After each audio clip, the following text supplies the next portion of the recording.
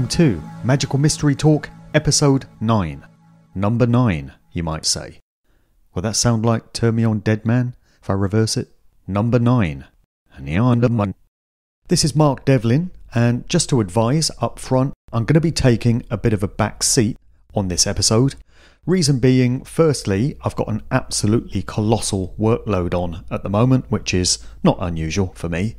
And secondly, Matt and Desiree have a whole load to talk about this episode. They are, after all, the experts on all things Beatles conspiratorial and esoteric, and I generally just act as the host. So I'm going to hand over the reins to Matt to discuss all these fascinating matters that they have on the agenda for this time, which include the new book by David Whelan, uh, re examining the assassination of John Lennon, a new book about Epstein's lawyer, David Jacobs, not the radio DJ, but a different one. Matt's done an interview with the author of that book. A CBE for Stella McCartney. Uh, she's also a part of the COP28 Global Climate Warming Change Conference. Why wouldn't she be? There's a new Mal Evans book, lots of books out, discussing his role within the Beatles camp. Of course, the release of Now and Then, the final Beatles record, or is it? Uh, May Pang's new documentary, that's just been released. Bill Gates' daughter allegedly dating Paul McCartney's grandson. Wow, how much more establishment connected can one family be?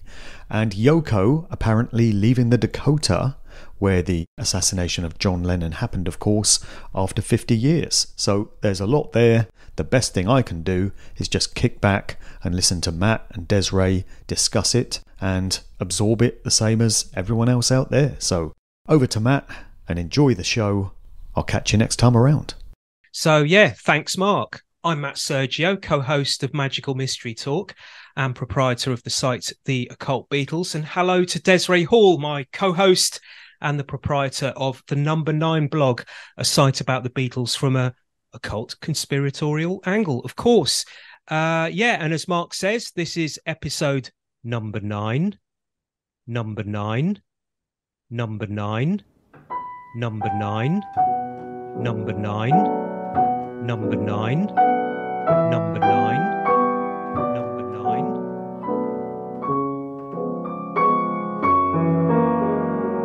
Ladies and gentlemen, the Beatles.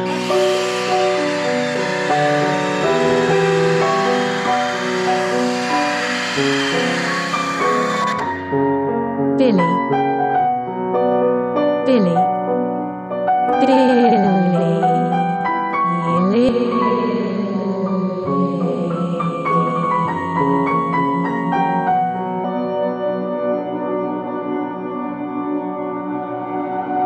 9 seems to be my number, and it's the highest number in the universe. After that, you go back to 1.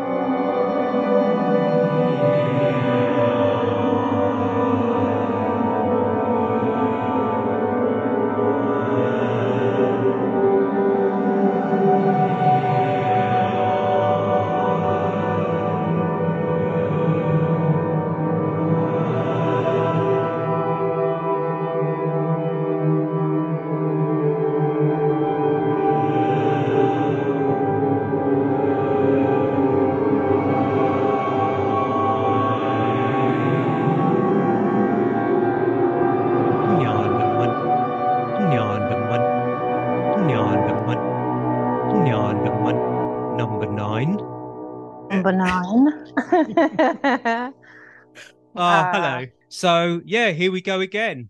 It's been a while. it has been a little while, hasn't it? I think the last one we did was January 2023, I think was the last one. Oh wow. Okay, so number 9, it is as you know a really important number uh, when it comes to the Beatles and especially John Lennon. Um, Absolutely. I've got a list here of all the number nines that that we can link to, you know, John Lennon and the Beatles. Um, yeah, you go ahead, and I'm pulling up stuff as you're talking, and I can kind of okay um, jump in with some extra things and whatnot. Yeah, I've, as I say, I've got a list here, and I, I don't remember why I wrote this out. This is from about two or three years ago. It could be that we recorded it on a previous episode of Magical Mystery Talk? I don't remember. I, I seem to recall doing this on some podcast. It could have been for the John Lennon special that I recorded with Mark some time back to Mark what would have been John Lennon's 80th birthday. So this would have been back in 2020. But anyway, apparently, um, the first person that started to look into this number nine and noticed that there was all these links was Ray Coleman, the author of uh, a John Lennon biography. Um, Mhm. Back in the early 80s, I think it was. I think he was the first person that noticed this um, and wrote about it in his book. Um, and since then, it's just took off and everybody's been adding bits to it. So, what I've got here, okay, so John Lennon was born on October 9th. Mhm. Um, he was born at 6:30 p.m. So that's six plus three is nine. Mhm. Um, his mother's address at the time he was born was nu- uh, number nine Newcastle Road, and Newcastle also has nine letters. His mother was run over by a car driven by a drunken driver. The car's registration was LKF 630. So that's six plus three, nine. Um, the drunk driver was an off duty policeman. His badge number was 126. Uh, one plus two plus six is nine. Brian Epstein, Beatles manager, first introduced himself to the Beatles at the Cavern in 1961 on November 9th. And the Beatles officially split up nine years later in 1970. Um, they actually split up in 1969, kinda. That's when John Lennon said to the rest of the Beatles, That's it, I'm out of here. But they actually carried on recording together, and the announcement wasn't made till 1970. But yeah, anyway, um, Epstein died in 1967 on August 27th. So that's two plus seven is 9 Mhm. Um, the Beatles received their record contract from EMI in 1962 on May 9th. And they produced many of their hits at uh, EMI's studios at Abbey Road. Abbey Road, if you add all those letters together, that's nine letters. Hmm. The Beatles made their first appearance uh, in America, the all important America, which was vital if they wanted to take over the world. Their first appearance in America was on February 9th, 1964. And, and that was on the Ed Sullivan TV show. When John first met his future wife, his first wife, Cynthia, she was living at 18 Trinity Road. So that's one plus eight is nine. Um, their son Julian was born at a hospital in Liverpool with the address 126 Smithdown Road. So that's one plus two plus six is nine. Smithdown is nine letters. And of course, there's the song Number Nine Dream by John Lennon. And and John knew about the whole number nine thing. He was aware of this and he talked about it in one or two or maybe even more interviews, but I'm aware of at least one or two that he he talked about the the nine thing, how how it seemed to be attached to him. So yeah, he wrote a song and released a song called Number Nine Dream, a solo song, uh, and that got to number nine in the US charts. Um, and there were also Beatles songs with the number nine in them. There was one after 909. There was Revolution number nine, of course, number nine, number nine, from where that comes from. And then there's his name. He changed his name from John Winston Lennon to John Ono Lennon. And Mhm. yeah, so Nine, yeah, nine Um, O's. nine O's. Yeah. And he was shot on December 8th, but in Britain, with the time difference, it was December 9th. Mhm. And also, and he was shot at in front of the Dakota, which was on West 72nd Street, which is also a nine. And their apartment number was 72, also a nine. and when he was and it, and it keeps going when when he was uh, in the solo years post split albums he recorded a total or he released a total of 8 albums but at the time he died he was working on a new album which was yet to be released and it was released posthumously so that makes 9 albums that he actually worked on while he's he was alive. Um, So even though one of them was released after he died, and that that was the Milk and Honey album that came out. Um, and he was uh, born in Liverpool, which is um, is that nine letters? L I V E R P O Yep. Yeah, nine letters. And he was pronounced dead at the Roosevelt Hospital, which Roosevelt is nine letters as well.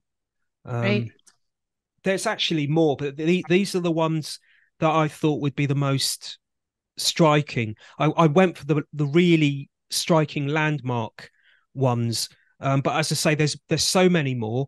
But anyway, have you got any any more? I mean, there's Well, the number nine and uh, the association with the Beatles was my, um, you know, re- my ins- inspiration for n- naming my blog the number nine blog, just because there are so many nines involved with the Beatles and in particular John Lennon. Um, I think you did hit all of the the major ones. Um, the only thing I have is um, the when he wrote the song, the Beatles wrote the song one after 909 they uh, wrote that at 9 Newcastle Road in Wavertree, Liverpool. And all of those have nine letters. So Newcastle, Wavertree, and Liverpool all have nine letters. And they wrote one after 909 there. So, but that's, I Yeah. think you covered all the good ones. And, and that- Absolutely. do you remember when that um there was I don't know if they released it in America. I think they did. It was in 2009. The Beatles, or what was left of the Beatles by that point, they re-released all their albums, all the studio albums. right. Um, they they remixed them, Remastered. Mhm. remastered them for the digital market. They put them all out on CD again, and they released it on the 9th of the ninth month, 2009. And I remember the the the promo for it, the the advertising. I don't know if it was a poster or whether I saw it online, like an online advert. But I, I seem to remember that it was Abbey Road Studios. It was a picture of Abbey Road uh, Road Studios and these big numbers with the date on it, and it was 09.09.09. Yeah. Um, Mhm. so they know about this thing. You know, John definitely knew about it because he talked about it and he wrote a song about it, released Right. Number Nine Dream. But since he's passed away, it's it's carried on. The Beatles camp have carried it on. They've continued it. Um, yeah, Absolutely. and- Absolutely. And if you look at that 999, I suppose that that advert, if you flip it over, then you've got 666, but that takes us Oh. off into yeah. that takes us off into another completely different thing, I suppose. Um, okay, well, there's there's so much to talk about. Um, it's it's really you know uh, when up until November, October, November 2023, there wasn't that much going on in in the sort of the Beatles world, as it were. Um, Right. That that there was a there was a couple of events that took place that I'd like to touch on and talk about. Um, but there wasn't that much going on, and then suddenly in October, November, it's like bang, all these things started happening. New books coming out, announcements being made. Um, Right. and probably the biggest of them all well not probably definitely the biggest event of all of it and for the whole year is the release of this so-called last beatles song ever i'll Right. believe that when i see it and that's the um now and then song which was assisted with ai of course um and it's been a long road to get to this um stage with this song for anyone who has been living under a rock in the last couple of months. Basically, now and then is a uh, it's been billed as the last ever Beatles song. Um, and basically, what it is, it's that what they've done is uh, um, back in the nineties, uh, George, Paul, and Ringo uh, worked, provided backing, uh, backing instrumentation uh, to uh, a John Lennon demo, and uh, which John had recorded on a piano at uh, the the Dakota um, back in the, sort of the late seventies. Uh, George, Paul, and Ringo were recording some instrumentation for this this over this demo tape back in the nineties, but then they just left it. Um, right. It wasn't good enough quality or something, right? Yeah, was- yeah, yeah. Uh, but in more recent times, in in 2023, Paul went back to it with Ringo, uh, and and they worked on it again, and that and that's uh, and that became a, a single, um, which was released in November. But yeah, it was originally a demo um, back in the seventies. I think, depending what version of events you believe, it was either recorded by John in 1977 or 1978 or 79, sometime around then. And basically, it's just John playing on a piano um, with um, in in his in his apartment. The TV is on in the background. He's got a boom box, what they call a boom box or a ghetto blaster, on top of the piano, and he's just going through this song. And and there's you know it's it's just a demo. He he never intended for it to be released in the form that he was recording it. It's just him playing around playing it as it's coming to him because because there's like missing parts of it while while he's while he's playing it. You know there's parts of it where he mumbles some of the lyrics because he hasn't quite got to the point where he's got all the lyrics worked out. Um so yeah and then fast forward to 1994 i think it was. So the story goes yoko ono saw paul mccartney at an awards ceremony i think it was and she handed him a cassette and she said to him here paul see what you can do with these and it was it was a demo cassette like a compilation of various demos that john had been working on at around the same time in the sort of late 70s. Um, and it was now and then was on there. Uh, also, Free as a Bird, Real Love, and I think Grow Old with Me was on there as well. And Grow Old with Me had actually come out before it had come out on the Milk and Honey album um, as the demo, actually in its demo form, just John on a piano, quite rough sounding, but um, and so and I think Real Love had actually come out in demo form as well. I think it was on a John Lennon compilation album, which came out at the end of the 80s as part of a soundtrack for a John Lennon documentary.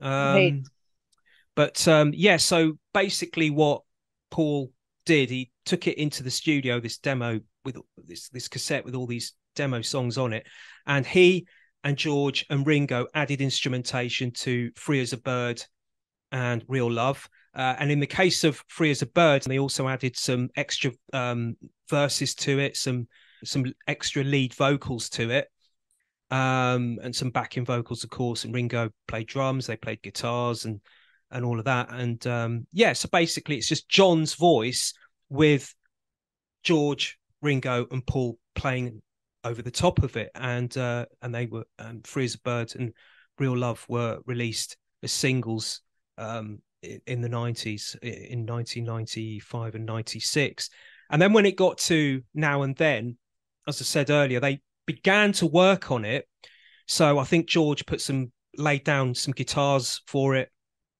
some lead guitar or some acoustic i think um, paul added some instrumentation as well and ringo added some drums and then they kind of just left it it got put to one side and that was that. Um, they just moved on with their lives and, and left it. Um, and yeah, so fast forward to 2021, and we get the release of the uh, the Get Back documentary series, which was um, produced and directed by Peter Jackson. So Peter Jackson has said when he was putting together this documentary, which is basically a fly on the wall documentary, it originally came out in 1970. It was released in 1970 as a 90 minute cinema film, I think it was.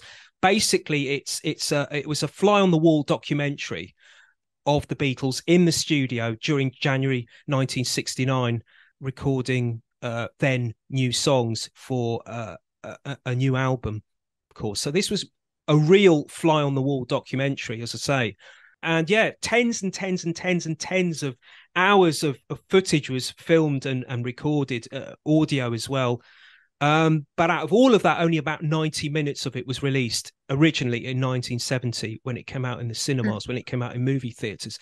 But when Peter Jackson got his hands on um, on that footage in 2020, I think it was 2019, 2020, and which was finally released in 2021, he managed to release over three episodes on the Disney Plus channel in 2021 about it was I think it was a three episode mini series, and there was a, over just over two hours per episode um, that he managed to get out into the public. Um, but even then, there's still tens and tens and tens of hours of footage which we still haven't seen or heard. Now he says whilst he was record, whilst he was looking at all this footage and listening to it, there were certain parts in the documentary where, where say for example, George, say for example that the Beatles were in the studio and, they, and they were rehearsing a song and they would stop and maybe have a cup of tea, have a cigarette, um, just chill out a little bit. They're, they're still sitting in the studio, but they're just having a little bit of an informal chat and a cup of tea in between songs, in between takes. And the way that Peter Jackson has said it in interviews and stuff, uh, and I'm I'm kind of paraphrasing here. Basically, what he said is, say for example, they they stopped in the middle of a song and they're having a bit of a chat and a cup of tea. Um, say say for example, George is having a conversation.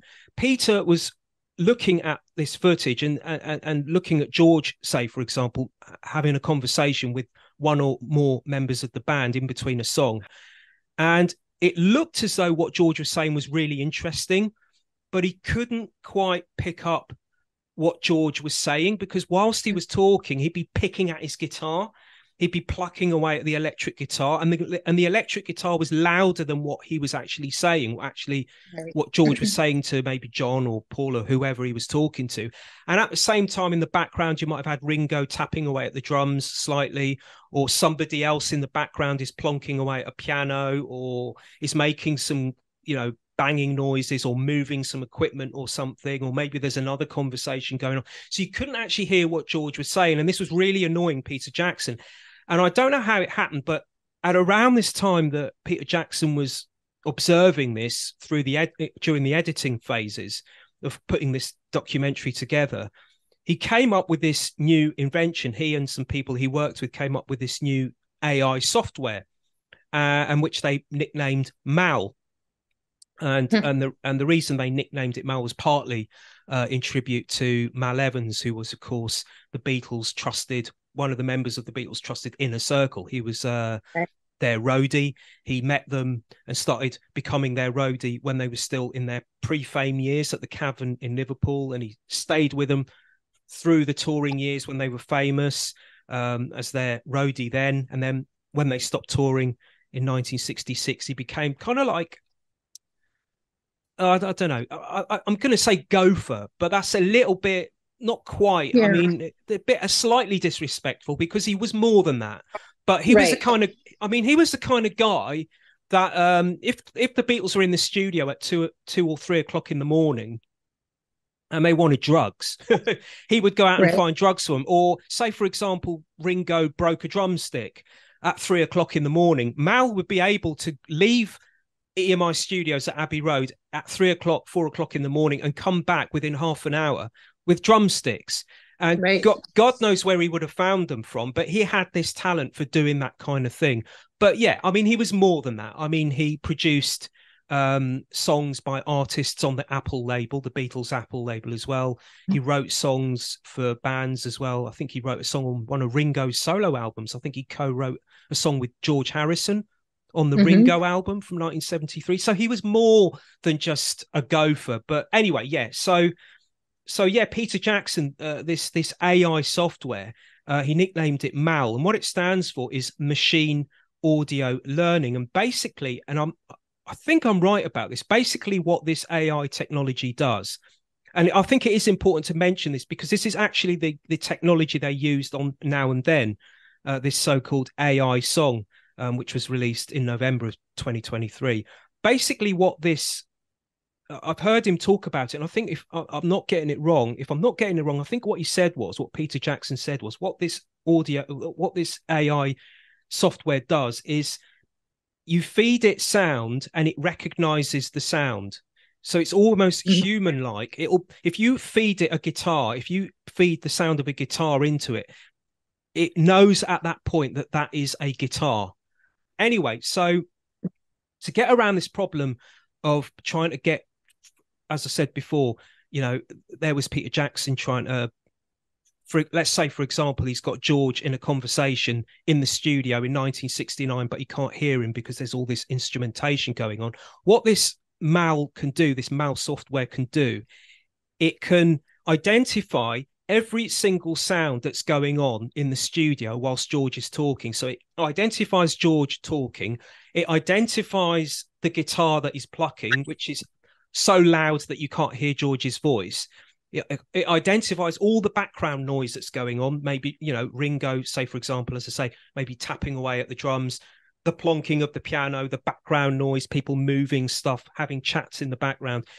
This Mal software identifies every single piece of sound. And then what it does is it takes each sound and places it in a, um like isolates it? Isolates it all. Yeah exactly. It isolates it all. And then at that point you can turn the volume up on george's voice. Um and maybe turn the volume down on the guitar he's plucking away at or whatever. But mm-hmm. you can mm-hmm. turn george's voice up and then put it all back together again. And yeah and then you can hear george's voice. So this is what this mal software can do um, and they used it again in um, 2022 when the Beatles released or re-released the Revolver album, their 1966 album Revolver. When they re-released that in um, 2022 in box set form, there was a remix version of it. And what Giles Martin did, Giles Martin being, of course, the son of uh, Beatles producer George Martin, Giles Martin mm-hmm. Basically carried on the mantle and is working on Beatles projects now. He used that Mal software um, to take each song from the Revolver album, and he did exactly what Peter Jackson did in that film.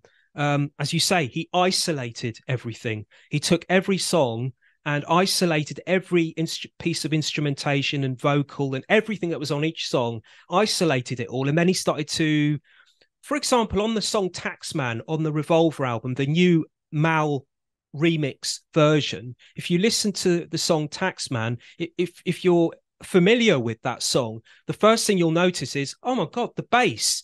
You can hear you can hear Paul's bass. I mean, really clearly, not only louder but clearly. Um, and that's what he's been able to do thanks to this Mal software. Of course, these days you can have as have as, if I'm not mistaken, I'm not an expert in this kind of thing, but these days you can have as many tracks as you want to. The sky is the limit. So if you want to record um, your vocals, you can have that on one track. You can have um, three part harmonies. You can have one part of the harmony on one track, the second on another, the third on another. If you want piano, you can have that on a separate track. You can have drums on a separate track, and on and on you go. You can have as many instruments as you want, and they all have different faders different tracks, um, different channels. They don't have to share, you know, with other sounds.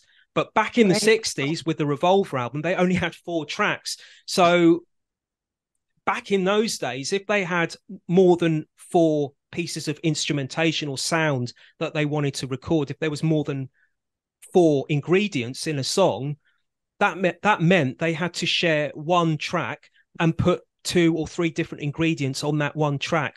And the problem with that is back in the day with Revolver, they only had four tracks. So if you put a lead vocal and drums on the same track, coming uh, being recorded through one fader that meant they were glued together those two sounds were glued together and there was no way up until this mal software came out that you could unglue the drums from the vocals right. so they were stuck forever but what this mal can do is it can pick up those two sounds on that one track and separate them. So that's how this technology works. This is how this mal technology works. And and yeah, in 2023, so they used this for the Revolver album. And uh, yeah, in 2023, um, when it came to um, Now and Then, that's what they did with Now and Then um, because apparently, and uh, you can actually hear now and then, it did actually come out um, as a demo in demo form on bootleg albums um, in the 90s. Right. Um, the actual original demo. Um, and as I say, as I said earlier, when John recorded that demo, um, he did it in in a in his apartment. He had a boombox on top. And, I mean, he he had a boombox really on top. It was it was really really basic you know as i say he wasn't intending to release that demo as a as a you know he wasn't intending to when he was recording it on that day back in the 70s he wasn't intending for that to come out in public Um, and this wasn't a demo. It wasn't even a professionally recorded demo. It wasn't done in a, a recording studio. It was just at home with a ghetto blaster, just a, a home tape machine sitting on top of a piano. The TV's on in the background, and apparently um, th- th- there's a hum on it as well, and there's crackling, so cracking Mm-hmm. sound on the cassette on the sound because the the mains lead on the back of the boom box wasn't plugged in right and so there's all this kind of like weird you know crackling humming earth kind of like an earth hum sound coming through as well so yeah so i mean if you actually if you hear free as a bird and real love which were recorded on cassette as well if you listen to those songs the instrumentation that george paul and ringo have recorded is great. You know it's just it sounds like it, it- that it was recorded in the 90s in a recording studio. It sounds clear. It sounds pristine. Great. But when you listen to john's voice on free as a bird and real love it it sounds tinny. It, you can tell that it's been taken off a cassette can't you? It just sounds really distant. It doesn't sound Yeah. right you know? Almost back- ghostly. Almost ghostly. Yeah exactly. Um and back in the 90s you know even the most sophisticated equipment that there was available back in the 90s was still not good enough to be able to get rid of that problem. But now um and um and yeah now i i here we are in 2023 and earlier in 2023 paul and ringo returned to now and then which they'd put aside Uh, in the 90s when they first worked on it with George when he was still with us.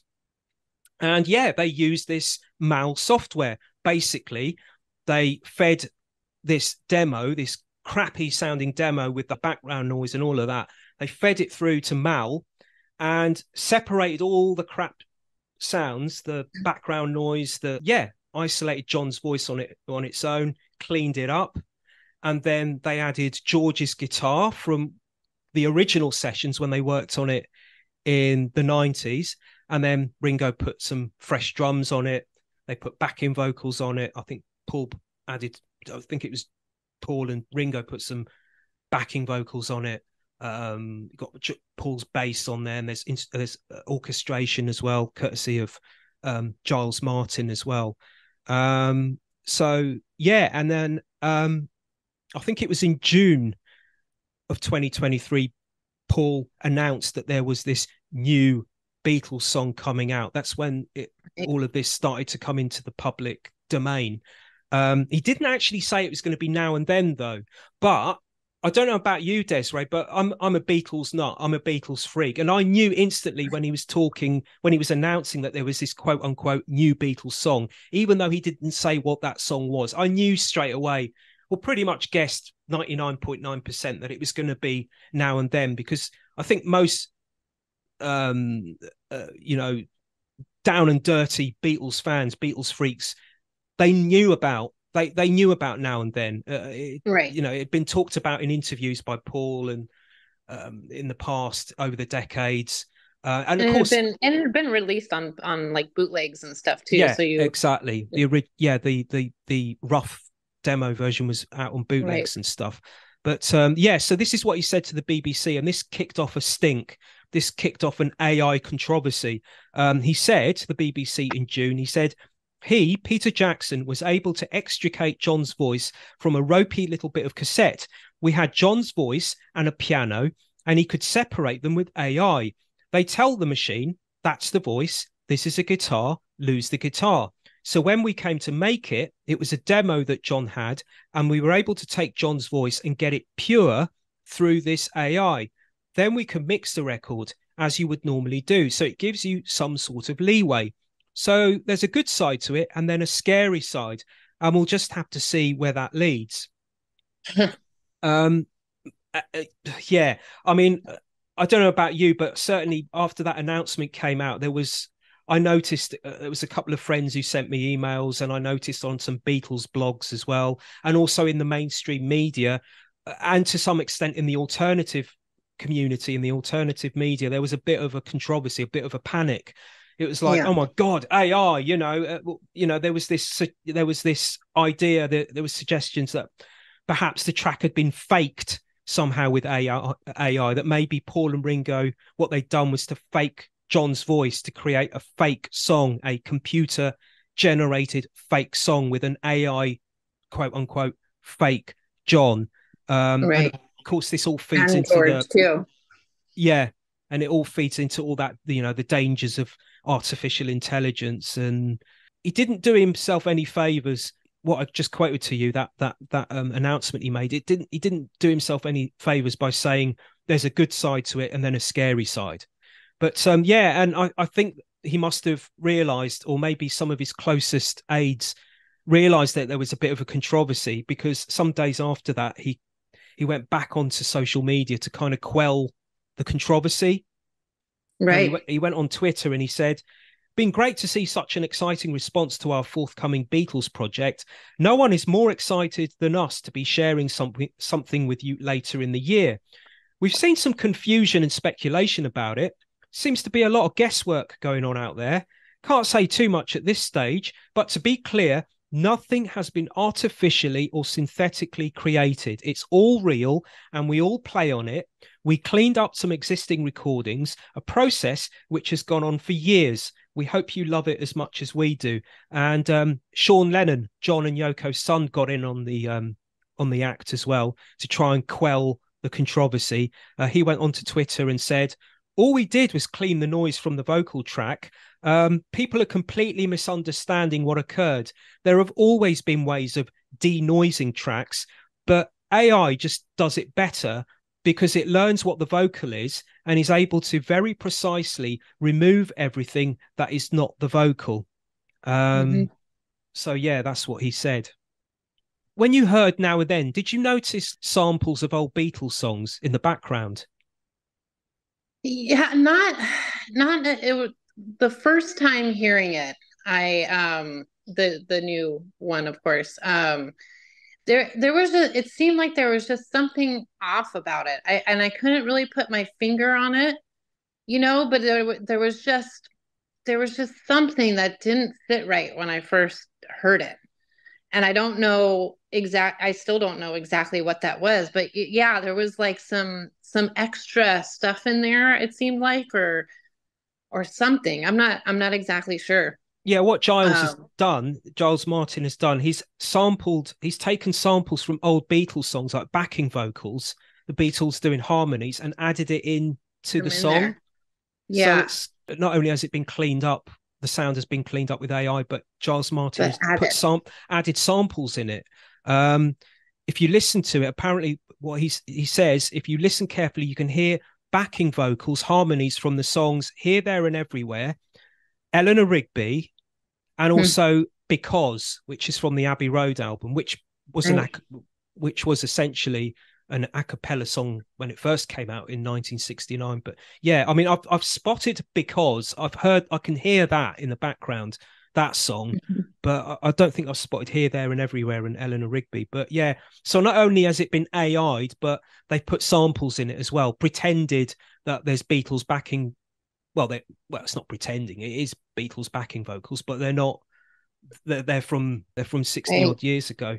You mentioned earlier w- when I was talking about how back in the 90s they'd originally worked on this now and then and put it aside you said that i remember you saying that the reason they did that was because they weren't happy with the quality.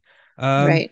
i was just wondering what do you mean by quality? Well, just just as you had um, said earlier, it was just it was like a, a cassette tape in a in a regular recording boombox, nothing fancy, something that anybody could get at the store, not at the re- done at the recording studio, and it was just very poor quality, really hard to hear what he was saying. Um, the tape itself was really old, yeah you know, and um, packed away, I think, in like um, John and Yoko's basement or closet or something for years and years, and um, just a really poor quality. And if that boombox too was on top of the piano and he's playing the piano, there's going to be vibrations. Yeah. I'm sure there was all kinds of background noise um, in there that wasn't wasn't um, usable or wasn't able to hear John as well as as they would like. I'm sure.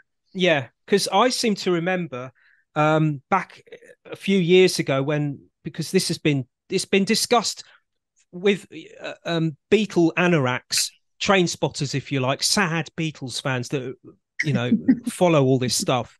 Um, right.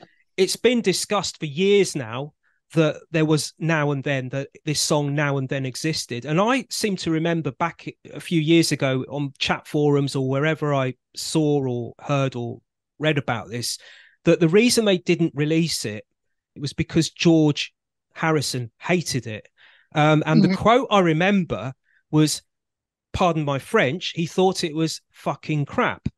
That's the actual that's the actual quote. And Sounds like something he would say. It does, doesn't it? And and yeah, apparently Paul McCartney, um, in an interview that I only saw a few weeks ago, um, it's it was an interview that he he did for um, Jeff Lynne. There was a, a BBC documentary that came out about 10 or so years ago and it was a documentary in tribute to Jeff Lynne who of course is from ELO and he's the guy that actually produced Free as a Bird and Real Love did uh, worked on those um, tracks that George and Ringo and Paul had worked on back in the 90s and were released uh, and they and he was also at the sessions for those night uh, for the recording originally of Now and Then with George Ringo and Paul back in the 90s when they were working on Now and Then back then and then right.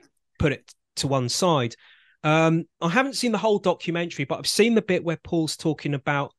He actually talks about now and then in it, um, and he ha- he actually says, um, and I'm paraphrasing. He says, "Yeah, yeah, we were working on this other song uh, as well as Free as a Bird and Real Love. There was another song, and it was called uh, Now and Then, um, but um, we put it to one side because George said it was fucking rubbish."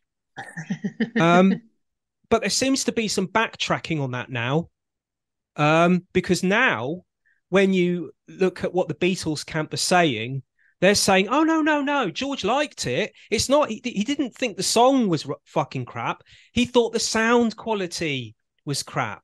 Um so you know I, i've got this feeling that they're backtracking and and they've put statements out. Um george's wife his widow um olivia's put uh, made a video to try and um, put her case across. And there's uh, a quote from her on the Beatles official website, um, and I, where they're kind of trying to explain that no, no, no, he liked the song. Honestly, um, if he was alive now, he would have been, you know, he would have been, he would have been supportive of this. And I, I don't know. The cynic in me seems to is thinks to you know, the cynic in me thinks that he didn't like the song, and because Yeah. it, it- it's like it's almost dishonorable. It's like they're going behind his, they're going against his, you know, they're dishonoring his memory basically by releasing this song. They release basically they've gone in and worked on it anyway, irrespective of what George would have thought. And it's like it's kind of in bad taste for someone Right. who, who passed away and didn't want it to come out, but here they are cashing in on it, kind of thing. Anyway. So yeah, um, on the Beatles official website, yeah, go, yeah, go for it. I was just saying, I was, I, I kind of feel the same. I mean, I, I am a Beatles fan, and I, you know, that that song, it's, it's really not that great, in my, in my humble opinion. And I'm not a musician, and I'm not, you know, it's, it's really not a good song, you know. And I, I, it, it's definitely Beatlesque, Yeah, and I can hear, you know, that's definitely John Lennon and and that's that was his style back then, you know, what he was trying to do. But you know, it's just to the way they hyped it up and everything, you know, I thought it was gonna be this great song. And it's just kind of like, uh, yeah.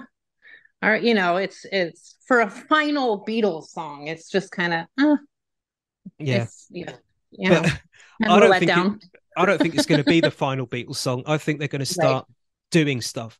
Um, I was listening to a podcast the other week. uh, With it was a mainstream podcast, a mainstream Beatles podcast. Um, I think it's called Things We Said Today.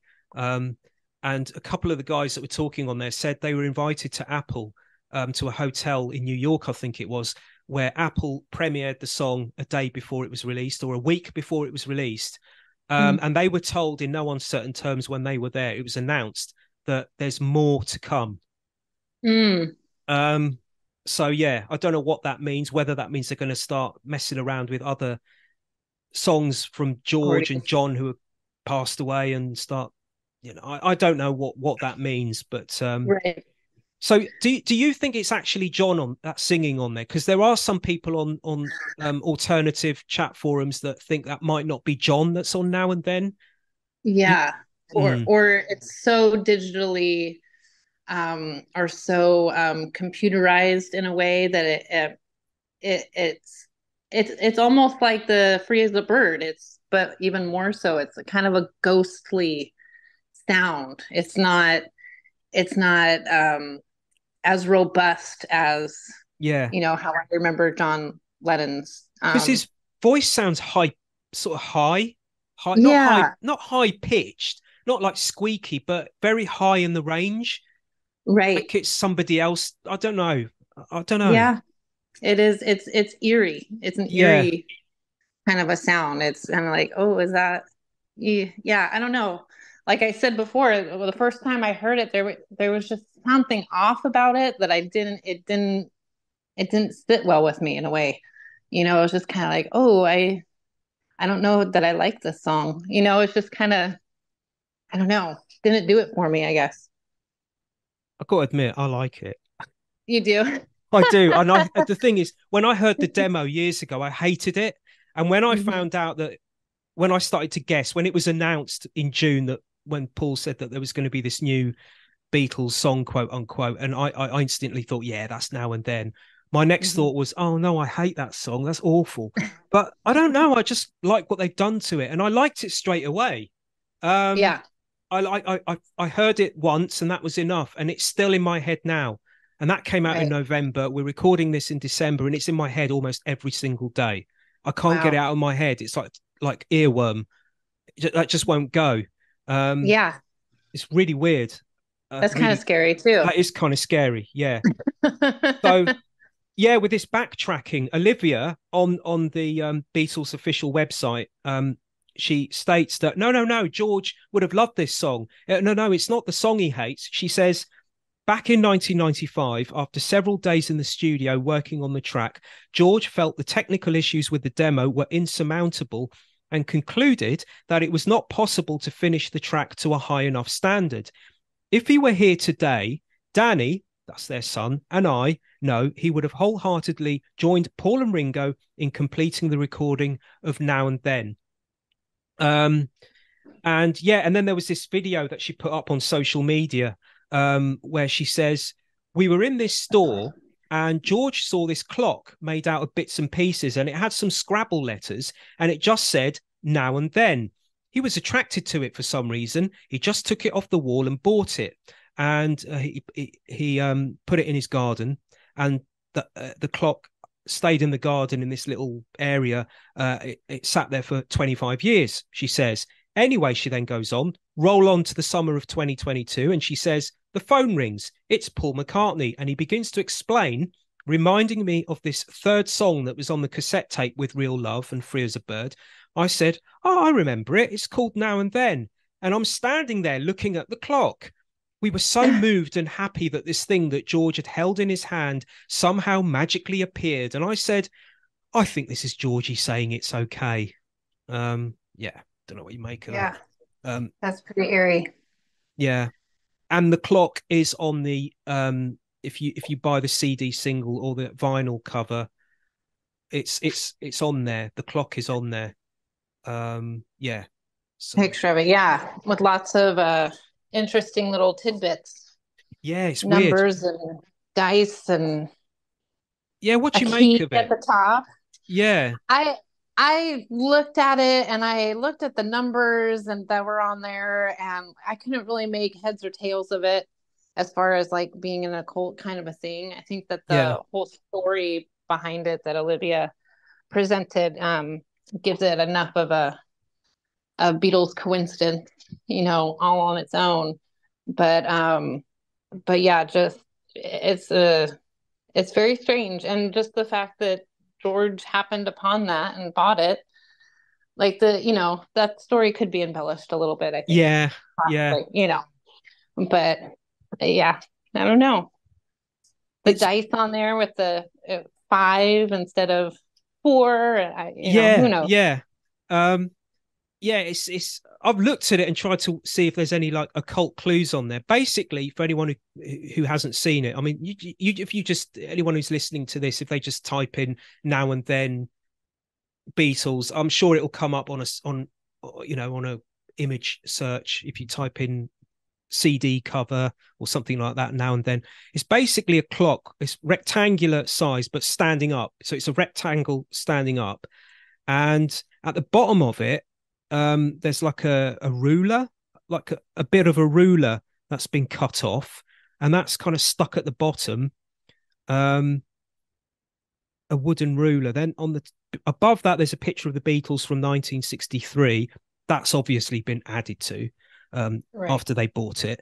Um, I don't think I don't think the coincidence would have gone that far. eh, You know, it, yeah, I don't think George would have walked in the shop and seen that. I don't think the coincidence, the magic, and all of that, this synchronicity would have been that strong. Um, Well, and- didn't, didn't Olivia say that that that that was that picture was on it, and that's why he does bought she? it? I, I don't know. I I, thought that wasn't. that's what it said in the statement. Did it? Oh, well, maybe I, I missed it when I was reading it. I wasn't paying attention. I, I could be Um, mistaken. Let me just look. Let me just um just looking at my bits of paper here where I've got it. No, she doesn't me- mention the picture. No, she mentions Okay. scra- Scrabble letters and it's a, it, that it's a clock. Um, but I don't know if they are Scrabble letters. Because above that picture of the Beatles, you've got then w- written. you- You've got four different square chips um, Right. with T on one chip, H on another, E on another, and N on another.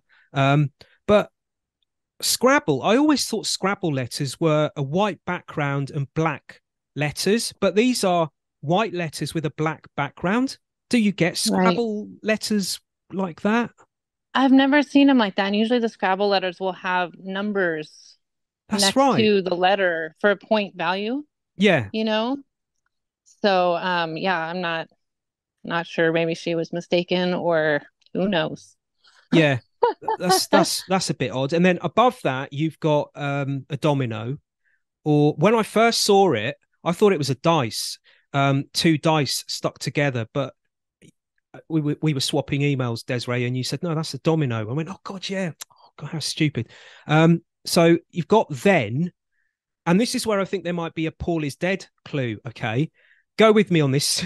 I might be stretching it, but it says, okay, so you've got the the so-called Scrabble letters that say then, and then above that, you've got two pairs of Scrabble numbers. Um, no, two. You've got a, a domino. You've got a domino, and so you've got um, two sets of domino numbers.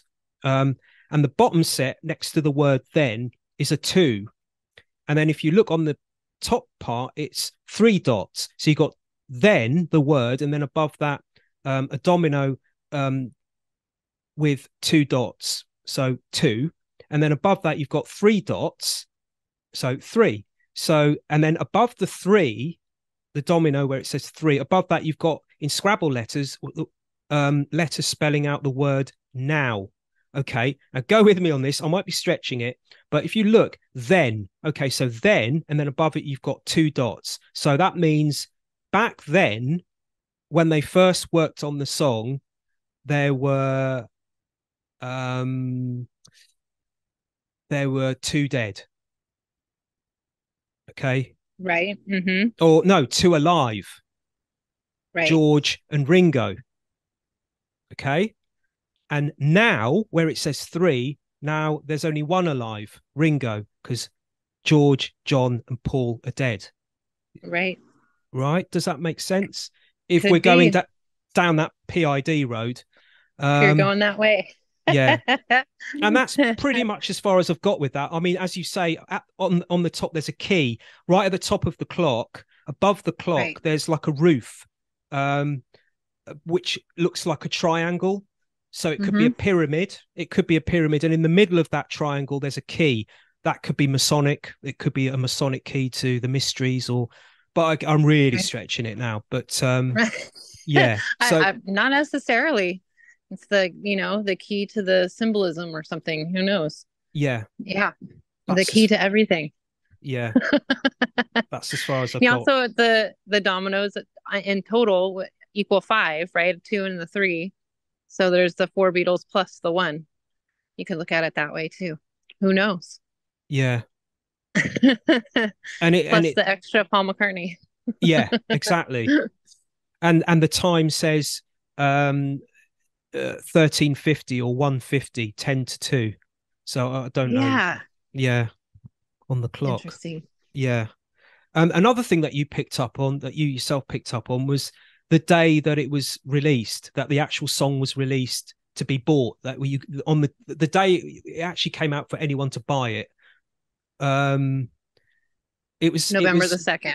November the second. It was announced to Mhm. the world on November first. Uh, uh, uh, not announced. It was premiered. The song was premiered on November first, and it was available to buy on November second, which was a Right. Friday.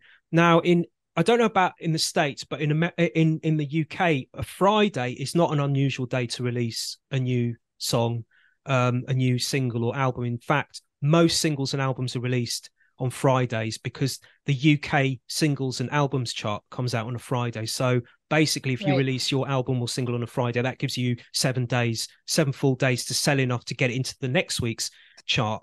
But as you pointed out, November the 1st and especially November 2nd is a very important day in the Mexican calendar to people in Mexico and people living outside of Mexico because it's Right. November 2nd is Dia de los Muertos. In other words, right. the Day of the Dead. Day of the Dead. Yeah.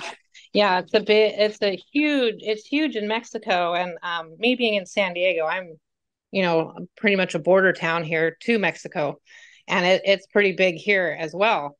And so um as soon as I saw and it, it's big for me too in in the flower business as well. Um Because you sell flowers. Everybody buys flowers for their, you know, their their loved ones who have passed. So um so yeah, I it stood out to me right away that it was um Day of the Dead, but it I, I just figured that they would release it more on a, you know, a significant date, but that might be very significant, especially um I believe that uh, Olivia is Hispanic, is Mexican, right? She's, she's Mexican. Yeah. So Um, uh yeah. Olivia Arias. That was how she was born, Olivia Arias. right, right, Yeah. right, right.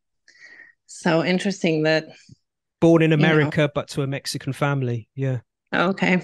Yeah. Yeah. I, I, I don't know. knows?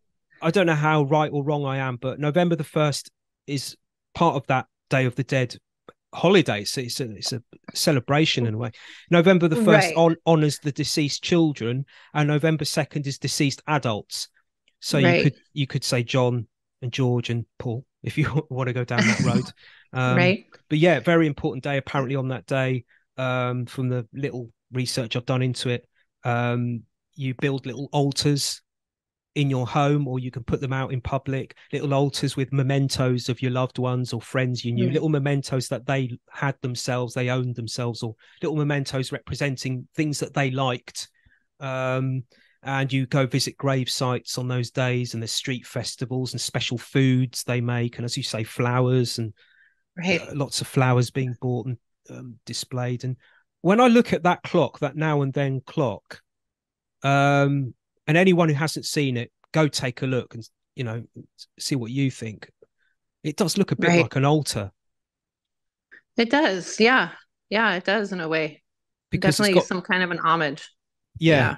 because it's got the picture of the Beatles on the bottom of it as well. Right. Um, and, say? and thinking thinking about it again, since um we discussed that that picture being added, it kind of strange too that they would have chosen that picture if it wasn't already there. Just be, I guess, you know, being the then part of it, you know, but there there's so many pictures of the Beatles and why they chose that particular one is kind of interesting as well. yeah, So I don't know. I'll have to mm. think about that some more. mock top Beatles. Yeah, direct that that is their Beatlemania image. That's the collarless jackets with the mop top hair. That is definitely a 1963 picture, a very early picture of early early fame years picture. Right. Yeah. Right. Um, right. What do you what do you think about I am a phony getting in on this? Um, of course, I am a phony, aka Rotten Apple, this YouTube channel that is very PID heavy, that's been putting up occult PID quote unquote clues since the 2000s. Um, I am a phony get, got in on the act um, because it had the actual full version of Now and Then. Because Yeah. the version that we hear, the official version, is actually a chopped down version because the original version has got an extra verse in it. And that Right. was taken that was taken out of the official version. There's a part in it where John sings, I don't want to lose you, no, no. And then he goes off he's, there's some more lyrics to that. It goes on for about another minute or two. But they chopped that out of the official Beatles version. Um, right. But I spotted in, in in October of 2023, so a good month before the official version came out. Um, I am a phony had on their um, YouTube channel this the full version, the full now and then song, but it was called "I Don't Want to Lose You." It was it was titled, it was listed as "I Don't Want to Lose You" um, on there. Um, and I think we might have talked about this before. I'm not sure. I've certainly talked about it in previous podcasts elsewhere. I, I'm not sure if we talked about this on Magical Mystery Talk, but and this is thanks to Redwell Trabant of the site Beatles Conspiracy. I think it was Redwell Trabant who discovered some business records from back in the day that links I Am a Phony, aka Rotten Apple, to Neil Aspinall, who was Right. another Beatles insider. I mean, so, he was such an insider to the extent that I mean, you want to talk about insider? You know, he he was he went to school with George and Paul. He Mhm. was their he was one of their first road managers in the pre-fame years. He stayed with them and was their roadie in the Beatlemania years through the touring years, and then after they stopped touring, he eventually went on to run their business, Apple. Um, Right. and he was like their CEO. He was like their top man at Apple. And basically, in the post split years, if he was like their gatekeeper, if you wanted, if if you were somebody, a journalist or a filmmaker or a director or producer or whatever, and you wanted to speak to the Beatles as an entity about a project, you had to get through Mal.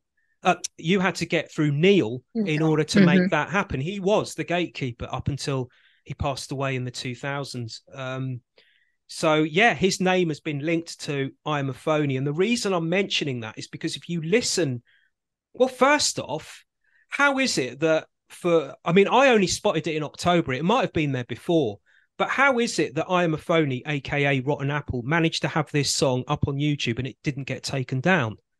Um, right as as is all of their they they use he or he or the entity um i am a phony uses beatles songs all the time Yeah. and anybody who uses anything beatles on youtube gets taken down almost immediately and they're they have been playing for years and years and years and years without any um cancellation if you will yeah. yeah I mean- very very interesting you know, even even irrespective of the Beatles, I mean, if I've I've tried uploading videos in the past where, and and and it won't allow me to release the video that I want to release that I've uploaded because apparently there's a copyright infringement. And I'm thinking where's the copyright infringement? I don't remember any co-. and and I eventually find it and it's like something that's like 4 seconds long or 10 seconds long and it's right. it's like a little piece of film footage or a little song playing in the background. You can hardly hear it you know? Right. But you can it's so so distant in the background it's faint but youtube picks up on it and won't allow me to put the video up. And Right. so how does he get how does this i am a phony get past all this? And if you've listened to this i don't want to lose you like i said before up before now and then was officially released the only version of now and then that you could find online was the demo. And it Right. sound and the demo sounds crackly. It sounds crap. It sounds like a, a cassette but if you Right. listen if you listen to i don't want to lose you to me it sounds crystal clear it it sounds like Yeah. it's been put it's been in a studio and it's been cleaned up do you know yeah, what i mean Absolutely. Yeah, yeah, absolutely. It was it was crystal clear when I heard it in October or whenever it was released. Yeah, that that was yeah, interesting. And the and the um he always has a video with it, you know. Uh, Yeah. or they always have a video with it, however you want to say it. But um, and using all of that, the AI technology was pretty interesting in the video as Yeah. well. And so I think that that kind of, um, at least in our little um, Beatles controversial world um, that we belong to, that that raised a lot of eyebrows as well as as far as the AI um, was concerned with the song. And then and then it being so similar to the actual release that the Beatles did a month later, that was uh, pretty Yeah. um, eyebrow raising. Yeah, oh oh, yeah, I forgot to mention that it's actually it's not the demo, it's not just John on a piano. It's actually got instrumentation on the top of it. It's got drums, it's got backing Yeah. vocals, um, guitars, maybe I can't remember now, but it sounds like it was done in a studio, like a top-notch, state-of-the-art studio. It sounds almost like uh, it does. It sounds almost like the version that that, came out officially. released. Yeah. yeah, very very similar, very similar. But but like you said, it had that extra little um bridge or that you know Yeah. the extra little verse in there, and I think that the part that they left out of the original Beatles or the um, official Beatles version, he said, "I don't want to lose you, I don't want to abuse you," and I think that that's why they took it out. Yeah, But that was left in the "I Am a Phony" um version. yeah. So interesting. Yeah, that is weird. Also, um, released on the same day as Now and Then was the repackaged um, and remixed compilations, the Beatles 1962 to 1966, the two double albums that originally came out in 1973, one of which was the Beatles 1962 to 1966, and the other one was the Beatles 1967 to 1970. I mean, they're, they're the albums that got me into the Beatles when they came, when those albums came out, I was three, four years old. So Same. I, I didn't live through the Beatles years when they were together. Um, so I wouldn't have remembered any of that. But my sister's 10 years older than me. So she would have been 13, 14. And she had those albums. And I just instantly made a beeline for those, ran to the record player and picked those up and played them constantly. Um, right. When I was quite young. Uh, that was like my gateway drug, those albums, those two albums. um, and they're nicknamed the Red and the Blue albums. right. Um, Red pill and the blue pill. Yeah, exactly. Um, it's called yeah because the the the the, the album 1962 to 1966 has a red border around the cover and 67 to 70 compilation has a blue border around it you could also say it's as people have said now the uh, actually i was going to say the official version but i don't think there's, actually an official explanation. But this is as close as some people have got to explaining why they're red and blue and their nicknames the red and blue albums.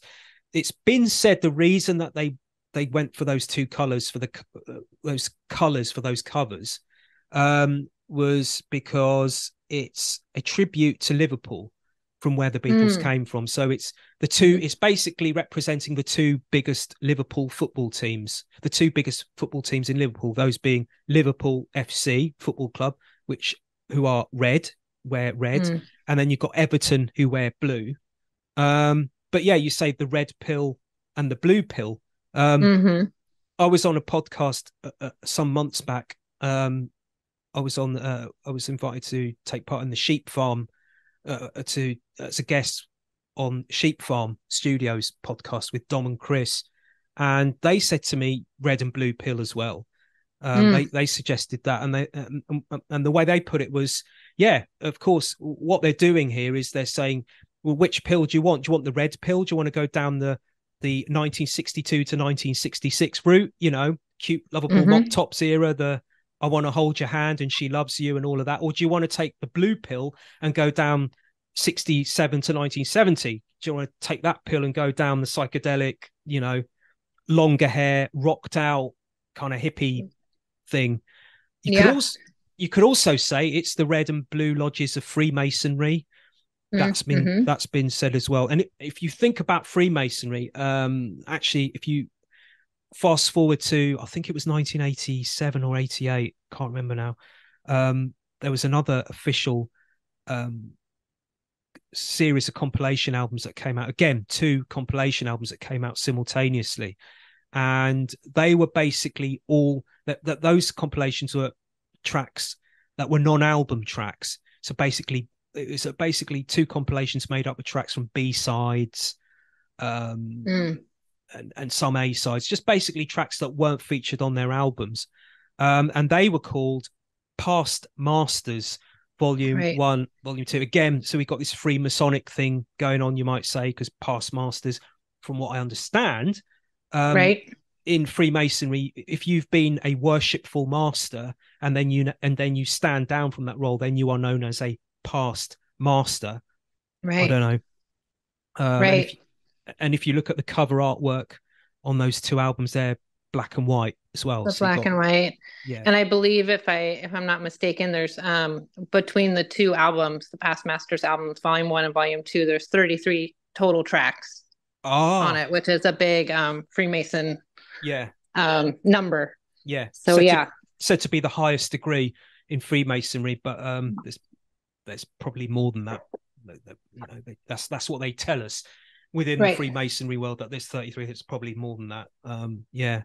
Um, and with regards to the um the blue and the red album, what what Giles Martin has done is he's done the Mal thing again. He's done the AI. He's given that the AI treatment as well. Um, if you listen to, for example, I saw her standing there um, the drums are really up in the mix. It's like the Mm. first thing you notice when you listen to I Saw Her Standing There, this new AI remix that Giles Martin has done on the Red album. And it actually wasn't on the original Red album. It wasn't originally on the 1962 to 66 compilation that came out in 1973. This oh, new they added it. they've added it. This new remixed re-release has got extra tracks on it. Um, but yeah, this is one of the extra tracks, and what they've done, he's turned the drums up on it. It's really loud. It's like it's the first thing that hits you, you know, when you hear it. You think, oh wow, drums! There's lots of drums going on there. Really hear that. Um, but he's really when you listen to I Am the Walrus, you know, at the end of the song I Am the Walrus, you've got the radio. Um, you've got the radio tuning and you've got an excerpt from a radio um, from a radio program um, what john lennon did when he was recording the song so the story goes at the end uh, at, during the sessions when he recorded the song what he did was he added he he, he wanted to put uh, um, some radio tuning on the end of it just the sound of a radio tuning up and down the dial so what he basically did what we're told is he just brought in a radio set and just put it next to a microphone and just started randomly tuning the radio. Um, and this feeds into PID because, and this, so if it feeds into PID, that would mean that it's not random, that it was put there deliberately because what he picks up on whilst he's tuning the radio is um, uh, a BBC play, a BBC adaptation of uh, King Lear. And if you listen to the words that the, the, section that you hear at the end of I Am the Walrus, that that is the, the radio tuning, if you listen to the excerpt that is taken that you hear of King Lear, it refers to death. And it has been said that the reason that John Lennon put it on there was no, it wasn't random. It was put on there because it was um, another reference to um, Paul dying. Another clue. another clue to Paul dying in 1966. Um, Right.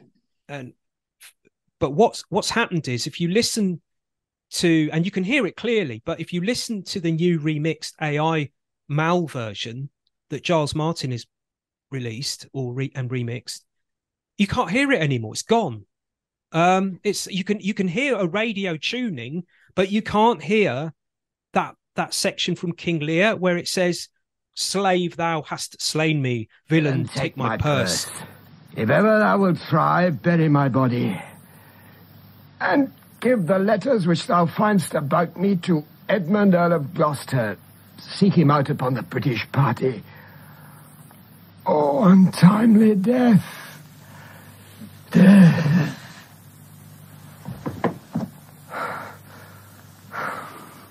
I know thee well. A serviceable villain, as duteous to the vices of thy mistress as badness would desire. What? Is he dead? Sit you down, father. Rest you. So again the cynic in me here comes the cynic in me again would say did they do did did giles martin do that deliberately because to throw off the scent of any future generations? Because if this the, the the reason that they might have re, reissued this um blue and red album uh, yeah it's 50 years since it first came out but maybe what they're doing here by remixing it and adding extra tracks is using it like a gateway drug again in order to introduce it to the next lot of three, four, five year olds. Yeah. So Mhm. anyone who is three, four, five years old listening to this or a little bit older and hears I am the Walrus for the first time won't be aware that that King Lear was on there because it's not there anymore. So it's all it's almost like they're brainwashing the public to think, oh no, there's, there's you know, you know, it's like they're playing. Yeah, it's like they're playing with Paul is dead. It's like they're um yeah rewriting history. rewriting history, rewriting PID. Mhm. Yeah. Yep. Um, yeah, and and to me that that little um King Lear part at the end it, that really makes the song. Without Yeah. it being in there, it, it's just it's not the same. And um, you know, I I, I don't know. I I think they did a real disservice by keeping that out. And especially since if if the Mal technology can really isolate all those things, they could have really cleaned it up and made it even exactly. you know, instead of just leaving it out altogether. That's yeah. And, and I thought the whole point of this Mal software um, was to clean the sound, not delete and erase. Do you know what I mean? It Right. was it was there basically to clean the sound up and to make it like you say to hear it better, not to Mm. because if you hear it, I mean, I might be hearing it wrong, but I've listened to it about two or three times now just to make sure that I'm not hearing it wrong because I can't quite believe it. But it's not there anymore. That that King Lear, all you hear is like a radio tuning, but you don't hear King Lear anymore. Right. It's, it's really. Uh, and apparently. Giles Martin says, "Oh, we cleaned it up. That's what we did with the radio tuning." And but no, you haven't cleaned it up, mate. You've you've actually No, you deleted it. deleted it. Um, right. Weird, really weird. Um, right. And to and to me in my own conspiratorial mind, that is just it's just instead of um, you know, not introducing the PID to the future generations, to this generation, that's it's like a big slap in the face in a way. Like, you know, that that that was a bit that was one of the really big clues, right? To Yeah. Paul is dead. Yeah, And so by taking that out, it's it's just kind of more solidified that you know that was done purposely and not randomly, like Yeah. John had supposedly claimed. But that's just me. yeah. That's just us. We're just cynical. Yeah. We're just like cynical. Ah, yeah. Okay. So moving along, then, lots of books coming out. Lots of books uh, that have been released, Beatles related in November and October. Um, uh, and one of those books, uh, which came out on December eighth, on the day that John Lennon was uh, shot, of course, um, is uh, the book about uh, John Lennon's killing, uh, Mind Mm. Games: The Assassination of John Lennon, which is by David Whelan. And as you know, Mhm. Desiree, I interviewed him um, about as we're recording this. It's December eighteenth. Uh, I think I recorded the the interview with him about three or four weeks ago, and it's up online. It's on my YouTube page, Conspiro TV. It's also available on my website, The Occult Beatles. He has said to me that he wants to come back and speak because he only spoke to me that time, but he, he I, I did ask him whether he'd come back and speak to you and me and Mark together, and he says, you know, once the book is out, and he says, yeah, yeah, that'd be great. Would love to do that. Yeah. I would Um, love that. So yeah, that that's to come. Um, the first I heard of this, or hopefully it's to come if, if he sticks to it. Um, the first I heard about this new book, which challenges the official narrative, was in April 2023 when it appeared in which uh, appeared on a on a news website, which, as as far as I'm aware, is the the UK's most popular, most viewed news website, mainstream news website. Um, it's the Mail Online. Um, Mhm. So I was quite shocked to see this being reported. You know, this upcoming, this then upcoming book being reported in the Mail Online, on the Mail Online, because you know this is like super, super mainstream. This, this is Right. um, David Whelan's like taking an alternative look uh, away from the official narrative, and I was quite surprised to see it reported there. But um, yeah, this is what the report said. I've got it typed out here. A three-year investigate. Uh, the, the headline reads: Could the man jailed for John Lennon's murder be innocent?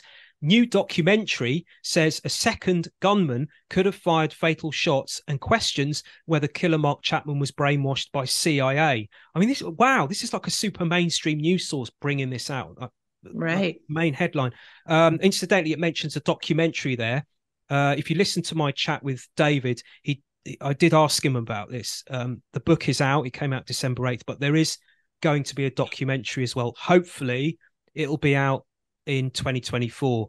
So the news report reads, and I quote: "A three-year investigation into the murder of John Lennon has unearthed a series of extraordinary inconsistencies." including the suggestion that detectives may have fundamentally misunderstood how the shooting happened.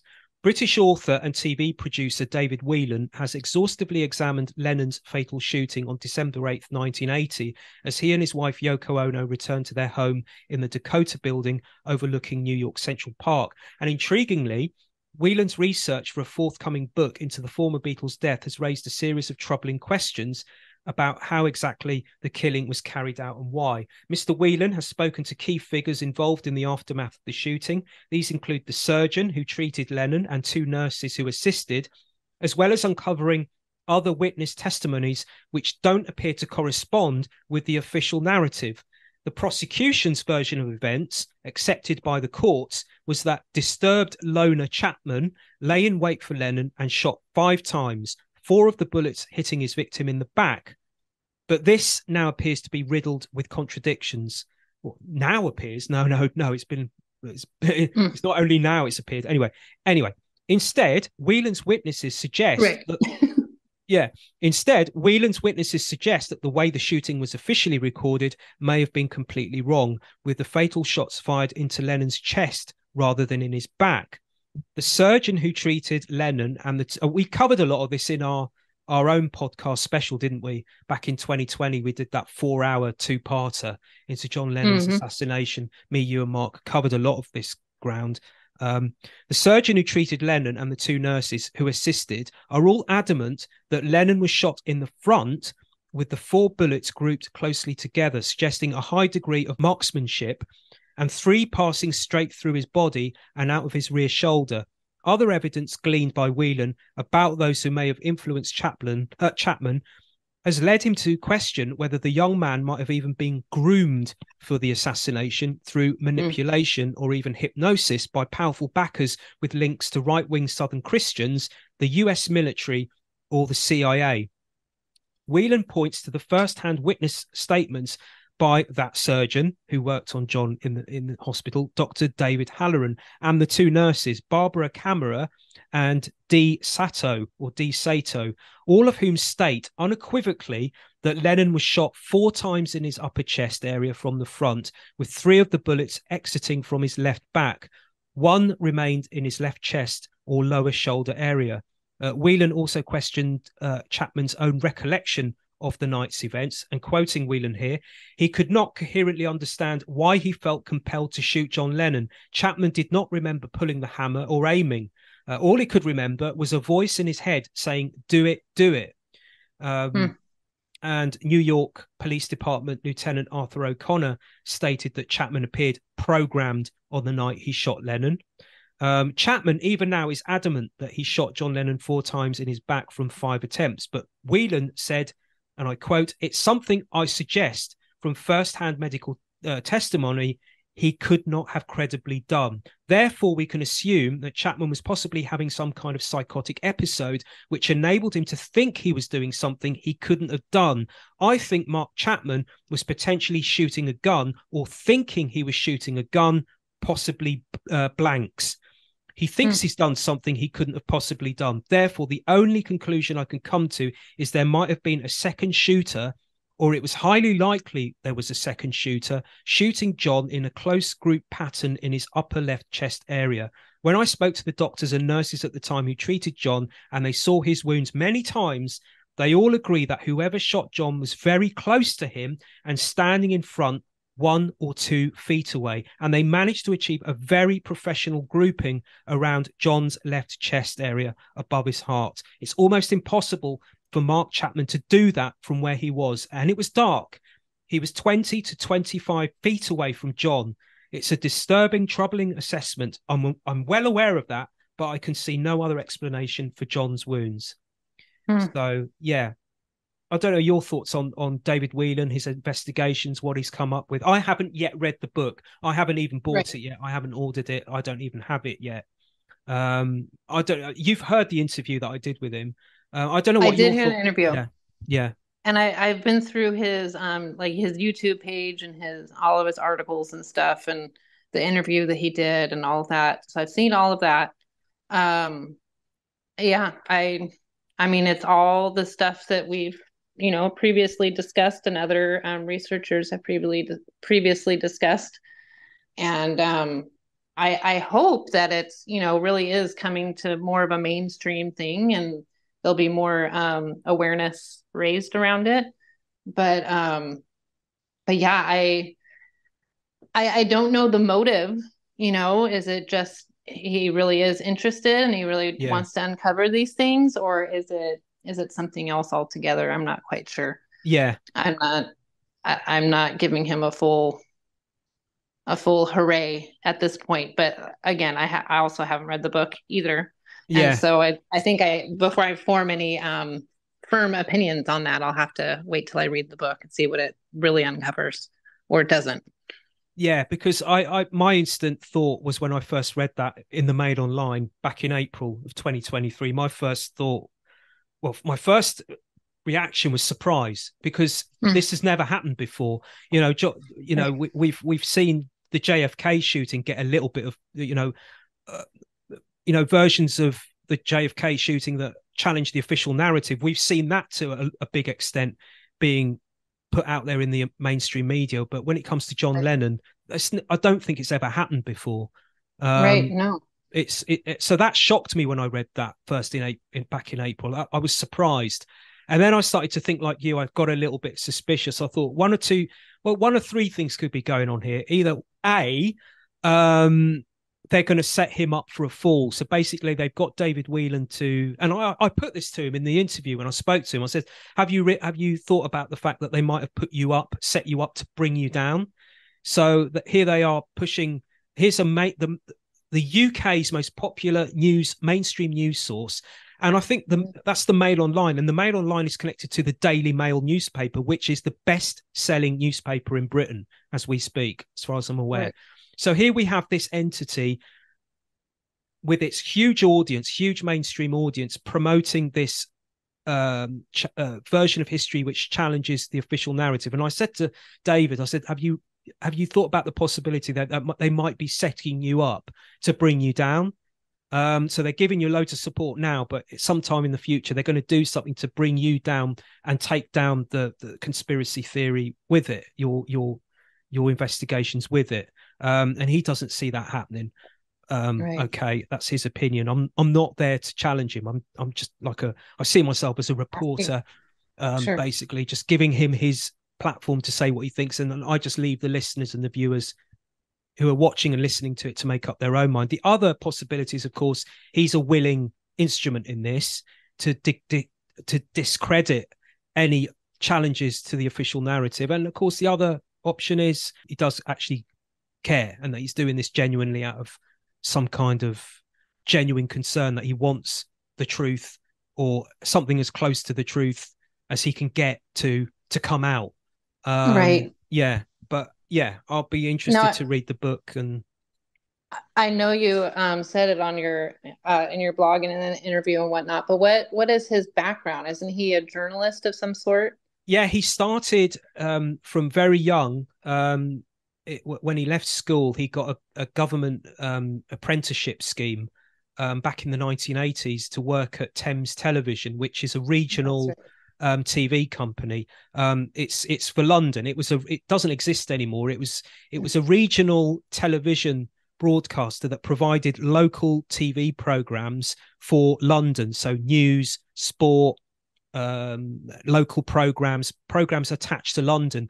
But it was also a huge TV uh, broadcaster for the whole of Britain because it produced programs. It uh, some of the you know I can remember growing up in the 70s and 80s and 90s uh, you know, and and Thames television programs on the television, like hugely popular programs, you know, dramas, sitcoms, chat shows, quiz shows, I mean, uh, Mhm. documentaries. You know, so he he was right in the hub of it. Um, he he was working in the news department, I think, researching, and then he moved into Mhm. the sp- he, he he got out of it and he went independent and started working in sport. So I think that's really where he he didn't really enjoy the local news aspect of it. He said he found it quite boring. He said, but um, yeah, for, for most of the eighties, he was working at Thames TV. Um, yeah, so that's so super mainstream, super mainstream background initially. I think he's independent now, but um, yeah, yeah, and that's how he got to. Um, he managed to get this report into the Mail Online in April. Um, as he says in the interview to me, he's got contacts. He knows people who are con- who are connected to the Mail Online, Right. and he asked them, "Is it possible if you can get this in your newspaper or on your in your you know can you get them to put it in in the Daily Mail look. newspaper or on the Mail Yeah. Online? Is there any chance?" And they said, "Yeah, let's let's have a look and see what we can do." And after lots of discussion and toing and froing um, between the two parties, between him and the Mail Online, yeah, they well, this is what he says, and they they eventually put it out there. You know, Yeah. um, but yeah, I was I was really surprised to see that. Um, yeah. um, Interested to see if anything um, comes of it yeah, or if it just gets swept under the rug as usual. yeah. We'll see. As you say, he's got a YouTube page as well, and he's got a Substack page as well. Um, and and on that Substack page, he's got a, a lot of the articles on there are actually taken from his book. Um, so he so he told me.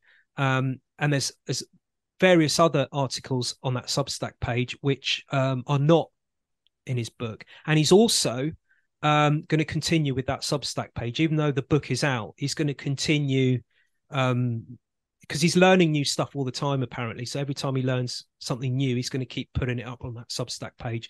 Anyone who's Hmm. interested, it's David Whelan uh, dot substack.com and that's Whelan W H E L A N. Um, and just to round this off um, with regards to this book, um, this is this is how he announced the book when it came out on his Substack page. I think he said, "As most of you know, I have been investigating John's assassination for over three years now." Uh, I have spoken to everyone involved with the case and I have managed to access all the lead detectives' notebooks and files. I am relieved that all my work is now finally out there for the world to read. This book is just the start of a process for getting justice for John Lennon. Though I believe my work has been um, has uncovered most of what really happened on 8th December 1980, there is still work to do. I urge everyone who reads the book to continue looking into the case. There are still unreleased FBI, CIA, NYPD, and Manhattan DA's office files. Most released files are still heavily redacted. We must continue to seek the whole truth about the people behind John Lennon's assassination and their methods and motives. My writing will continue on Substack. There are plenty more subjects surrounding the case that need further exploring beyond my book. This is just the beginning. Okay. So, Good. yeah, I hope so. yeah, I hope see. so. See what happens. Um, Yeah. Another book that came out this year, not not not around Christmas time. It was much earlier, I think, in July. And again, I interviewed the author of this. I had a, I, again, it's available at my site, The Occult Beatles, and also at Conspiro TV. Um, I interviewed the author of a book which is called Dead Groovy, and it's about the life of it's about the life, career, and death, and some might say suspicious death of David Jacobs, who was uh, the lawyer in the 60s of the Beatles. He was also Brian Epstein's lawyer. Uh, He was also friends with with Brian Epstein as well. Um, officially, um, it's really weird actually because as I said to the author when I was chatting with him, um, there's not that much known about him about David Jacobs. He he was known as like uh, the lawyer of the stars, the lawyer to the stars. But if you look online, apart from some news reports about his death, there's not that much known about him. And you would have thought there would have been because apparently he was a lawyer for um, Laurence Olivier, the Beatles, Brian Epstein, Judy Garland, Marlene Dietrich, um, Liberace. Um, and yeah, there's very, very little online that you can find about him. Um, from what I understand, he committed suicide. Uh, and I say from what I understand because, again, this is just based on what the scant information that I've managed to find online. He committed suicide, I think, in December 1968. So, about just over a year after Brian Epstein died of a quote unquote accidental overdose. Um, and he, he hung himself. Apparently, so the story goes. David Jacobs, officially speaking, hung himself in a garage in his home. But um, there has been, and this is what the book li- looks into. There has been some claims that he was actually murdered, um, and this is something that was put forward by a friend of his, his goddaughter, uh, a film actress mm. back in the '60s by the name of Suzanna Leigh, um, and she went to the police and said and and, and put uh, presented her her fears um, with regards to this, so put forward the suggestion that he was possibly murdered, um, because she claimed that um, a couple of days after she learned of his suicide, a couple of days after he died or his reported suicide, uh, she got a postcard through her door from Jacobs asking her to go to lunch with her that week. Mm. I think it was. So she thought to herself, well, if if he was going to kill himself, why why is he um why is he sending right, me making plans? Yeah, making plans to meet her for lunch. Um, mm-hmm. So there is this suggestion that he might have been murdered, and what Dead Groovy looks at is kind of like a murder mystery kind of book. It tells you the story of his life. It, it explains his life story and, and some of the cases he was involved with and some of the people that he knew. But it also hones in on various people that he knew or dealt with as a lawyer um, who could be possible suspects if he was murdered. Um, and what they bring into it, they one of the aspects that they bring into this that, that the author brings into this when he when he um, goes into possible suspects is the case is is the um, the Beatles merchandising um, aspect of David mm. Jacobs' career and that that company that was created to handle the licensing of Beatles merchandising in the early to mid 60s, which was Seltaeb, which is Beatles yeah. spelt backwards. Didn't you write an article about Seltaeb? I did. Yeah. yeah. That that's that was a that was a disaster, wasn't it? Seltaeb. That was really really weird. Really yeah, weird. very strange, and um and still is to this day. It's it hasn't really been fully explained and a whole bunch of people made money and yeah. That very strange um uh topic there for sure. From what i understand so i think it was around sometime in 1963 when the beatles fame was really skyrocketing when we were getting so-called quote unquote beatlemania. And what was going on was a lot of people were cashing in on this. People who weren't actually connected to the beatles um, other uh, bodies, if you like, other people were who weren't attached to the Beatles in any way, shape, or form were cashing in, making their own merchandising, t-shirts, dolls, you name it, candy bars right. with wrappers with paper wrappers with the Beatles on the front, and um, and a lot of these people were approaching Brian before going ahead with these merchandising bits of paraphernalia and asking Brian for permission, you know, for a license to go ahead and do this uh, whilst others were just going ahead and doing it without asking him. So basically, they were making money unofficially. But some right. were approaching Brian and asking him, and it got to the point where Brian just couldn't handle it anymore because there was so much going on at that point in the Beatles' world, as it were. What with their skyrocketing fame, he, he just didn't have the time to deal with it. So he handed it over to his lawyer, um, uh, David Jacobs, to take a look at it. And what yeah, what David Jacobs did essentially was hand it over to somebody else. He he couldn't hand he couldn't deal with it either. He was, I'm assuming, too busy to deal with it as well. So what he did, he got in contact with this guy called Nicky Byrne, and Nicky Byrne and about six or five or six or seven other people formed this collective, and they formed a company, and they called it Seltaeb, which is, as I say, Beatles spelled backwards and this became this merchandising company that was would license this beatles merchandise from here on in um and and apparently um what happened was this Nicky Byrne said to and this was going on, and, and Brian Epstein didn't know this was going on. Nicky Byrne said to David Jacobs, "Oh, okay, well, we'll, we'll okay, we formed this company, uh, Seltaeb. We'll we'll do this for you, and we want ninety percent to ten percent split of the take, with the 90 mm-hmm. percent going to Nicky Byrne yeah. and his friends, not to right. Brian Epstein." and, and, and David Jacobs said yes. Right. He said yes. Yeah, okay then. All right, we'll go with that. I mean, what on earth? Right. What? I mean, yeah. Um, yeah. Just and they made a ton of money, a ton of it, a ton of it, and so yeah, I I'm a Beatles collector, and I have a lot of the old um, original merchandise. Um, and yeah, every time I'm like, oh, I wonder who's actually who actually got the money for this. Nicky Byrne probably originally sold. Yeah, yeah, it's kind of sad. But yeah. So what yeah. happened was after a couple of years, Brian Epstein thought, "Oh no, th- th- oh my god!" So he, he tried to shut the stable door after the whole horses bolted kind of situation.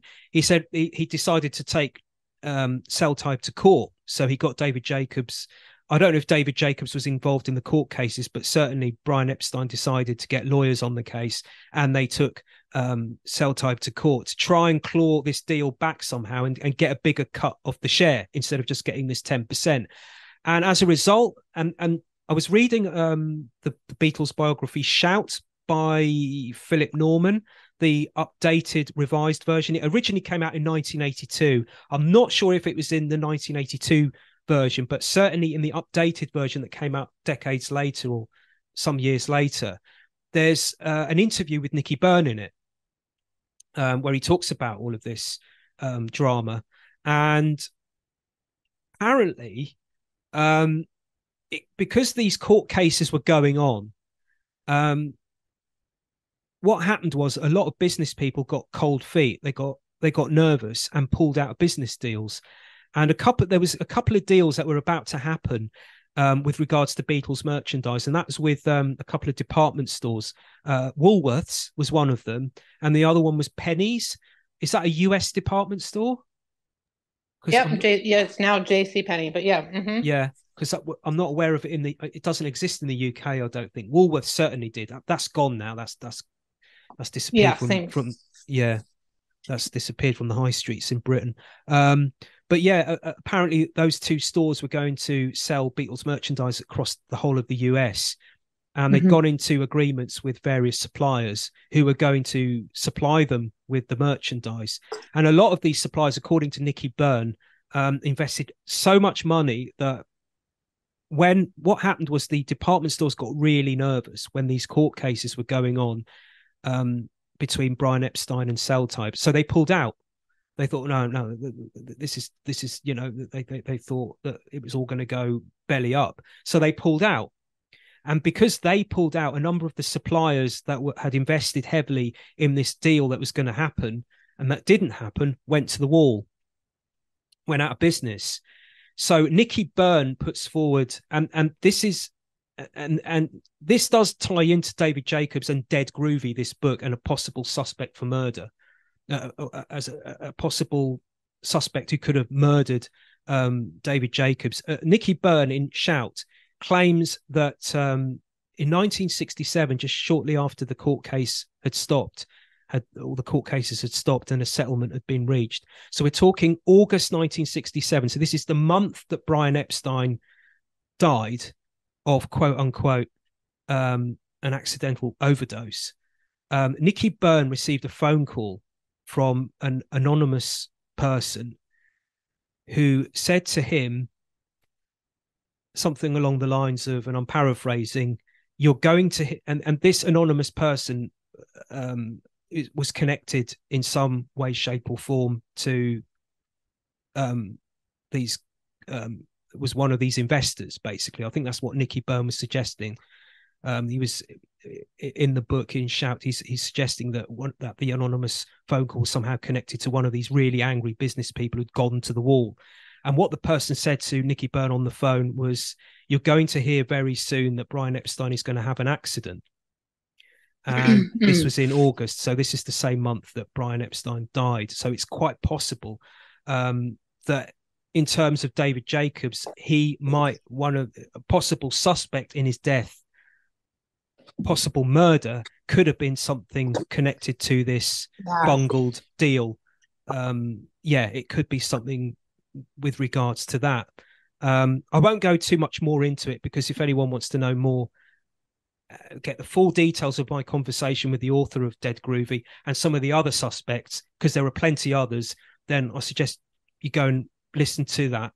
Um, it's on my YouTube page, Conspiro TV. It's on my website, The Occult Beatles.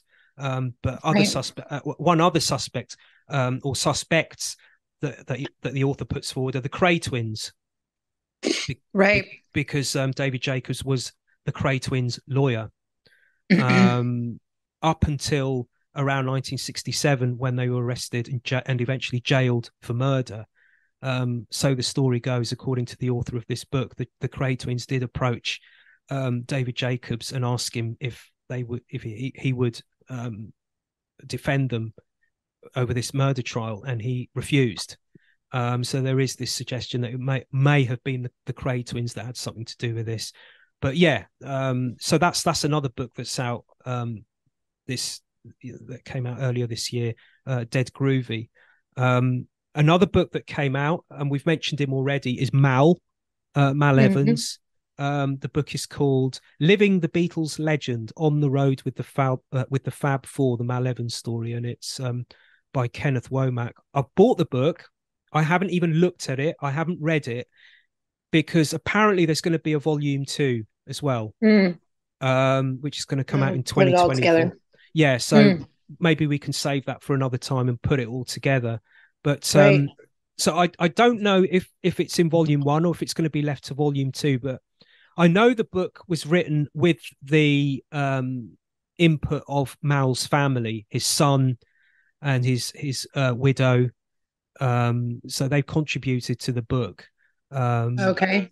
So it's they, it's not his di- Mal Evans diaries excerpts from his diaries. I I think what the author's done, and again, I I- I haven't looked into it too much because I really want to save this for another episode when Volume Two Yeah. comes out. But from what I understand, um, what Kenneth Womack has done is he's researched Mal's history himself, looked into it Mhm. himself. Um, I think he might have looked at those diaries, um, the memoirs, because Mhm. of course, what was originally going to happen was Mal Evans was going to release his own book based on his he was going to release his memoirs according to him it was going to come Right. out in 1976 and lo and behold he died just weeks before he was going to hand it over to the publisher he got shot by police um Right. now what i do know for sure because as i say i haven't read the book. What I, what I do know for sure is that volume in volume 2 what kenneth womack says he's going to do um is he's going to put all the all the all- every page from the memoirs that that Mal Evans left um that he handed over to the publishers all of that is going to be in the book. So you can see it for yourself um Right. and v- various other bits of documentation that Mal had because he was a bit of a collector. He had boxes and boxes and boxes of, of stuff and apparently it's going to be in in volume 2 um yeah so as you and I know. Mal was writing diaries all the way through his time with the Beatles, and after they split, he stayed with the Beatles after they split, and he worked for John in in the solo years. He worked on projects with John. He'd helped John out. He helped Ringo and George, not so much Paul. Um, and yeah, so that's what's going to happen. That the, the, me- he, he he wrote the, the, the, these. He had all these these diaries, and he he put together a a, a, book, a, me, a memoir, and he was going to hand it over to the publishers. And then, as I say, a, a- a week or whenever it was before he was going to do that, um, yeah, he died under you might say suspicious circumstances. Right. Um, what was As it? Do many around in the Beatles circle. yeah, exactly. So I, I think what happened. What was it? Um, he he. The, the official story is he was in an apartment in LA. I think it was in. LA, and he was having an argument with his then girlfriend.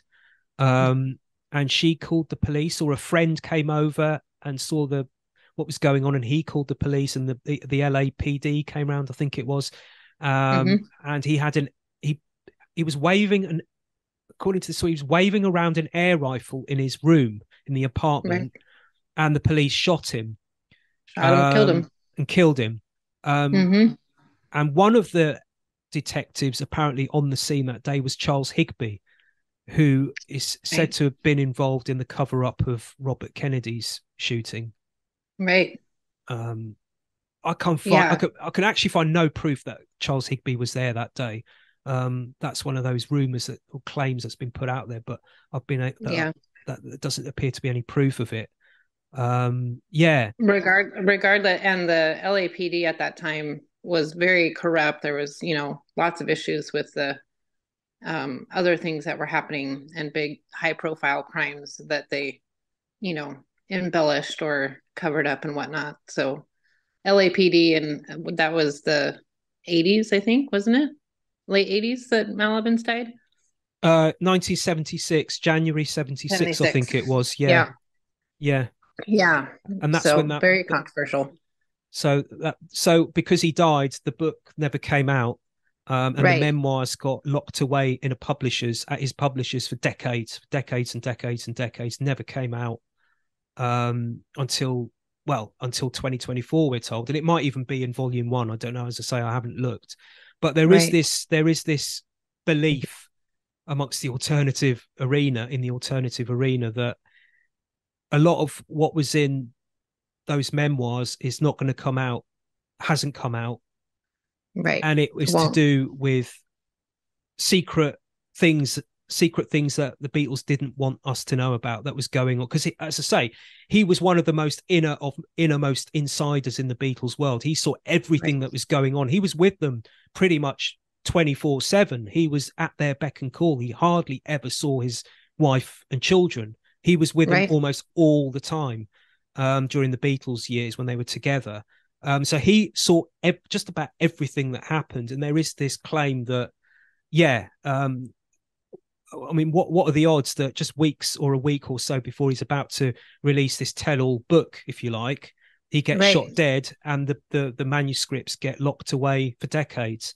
Um, right especially with um, the amount of people wanting to cash in on the beatles um, legacy you know like you would think that something like that would be immensely popular and people would want to read that and they would make a ton of money off of it and the fact that they chose not to is also a big red flag like Yeah. you know that's of course everybody wants to know what goes on within within the Beatles circle, you know, like the the gossip and the the fighting and and or whatever else might be in there.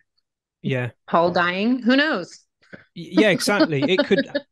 Well, the PID community has picked up on it and Right. said that what what was in those manuscripts, in the original manuscripts, this this memoir that was going to come out was something to do with Paul is dead.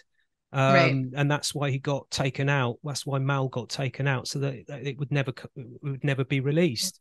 Right. Um, but yeah, I, I want to wait and see the actual volume two and see what's in that as well, and then we can really get our teeth into it. I think because until that Yeah, that happens, great. yeah, uh, I'll be interested to to have a look. What you know, yeah, I mean, you know, it's it's Well, yeah, we'll lock it away in a basement for a little while and then bring it out later. yeah, for about 40, 50 years, just like the the original ones by Mal. Yeah. Um, right. another book that came out this year it even though it's a re-release it actually originally came out in 2018 i think it was and again i interviewed the author of it back in 2020 and it's you can hear it on my site the occult beatles was a book called behind the wall of illusion the religious occult and esoteric world of the beatles. Um, this is by sean mcleod and it, it as i say it came out in 2018 2017 sometime like that but it's since been re it- in 2023 it came out again. It's been updated and revised and reissued if you like. Um and basically it's it covers a lot of the bases within the occult conspiratorial world of the beatles. I'm looking at the the contents page it basically tells the occult conspiratorial story of the beatles from their days in liverpool and then through the beatles years and after the split. Um for example just to give you it's it's done chronologically. It's got everything it's, it covers most you know most of the ground that you'd expect. You know it gets into um paul is dead um, the occult uh, the so-called occult album covers of their albums Um, I'll just read you some of the chapters here, the contents. Chapter one is in the beginning, birth of the Beatles.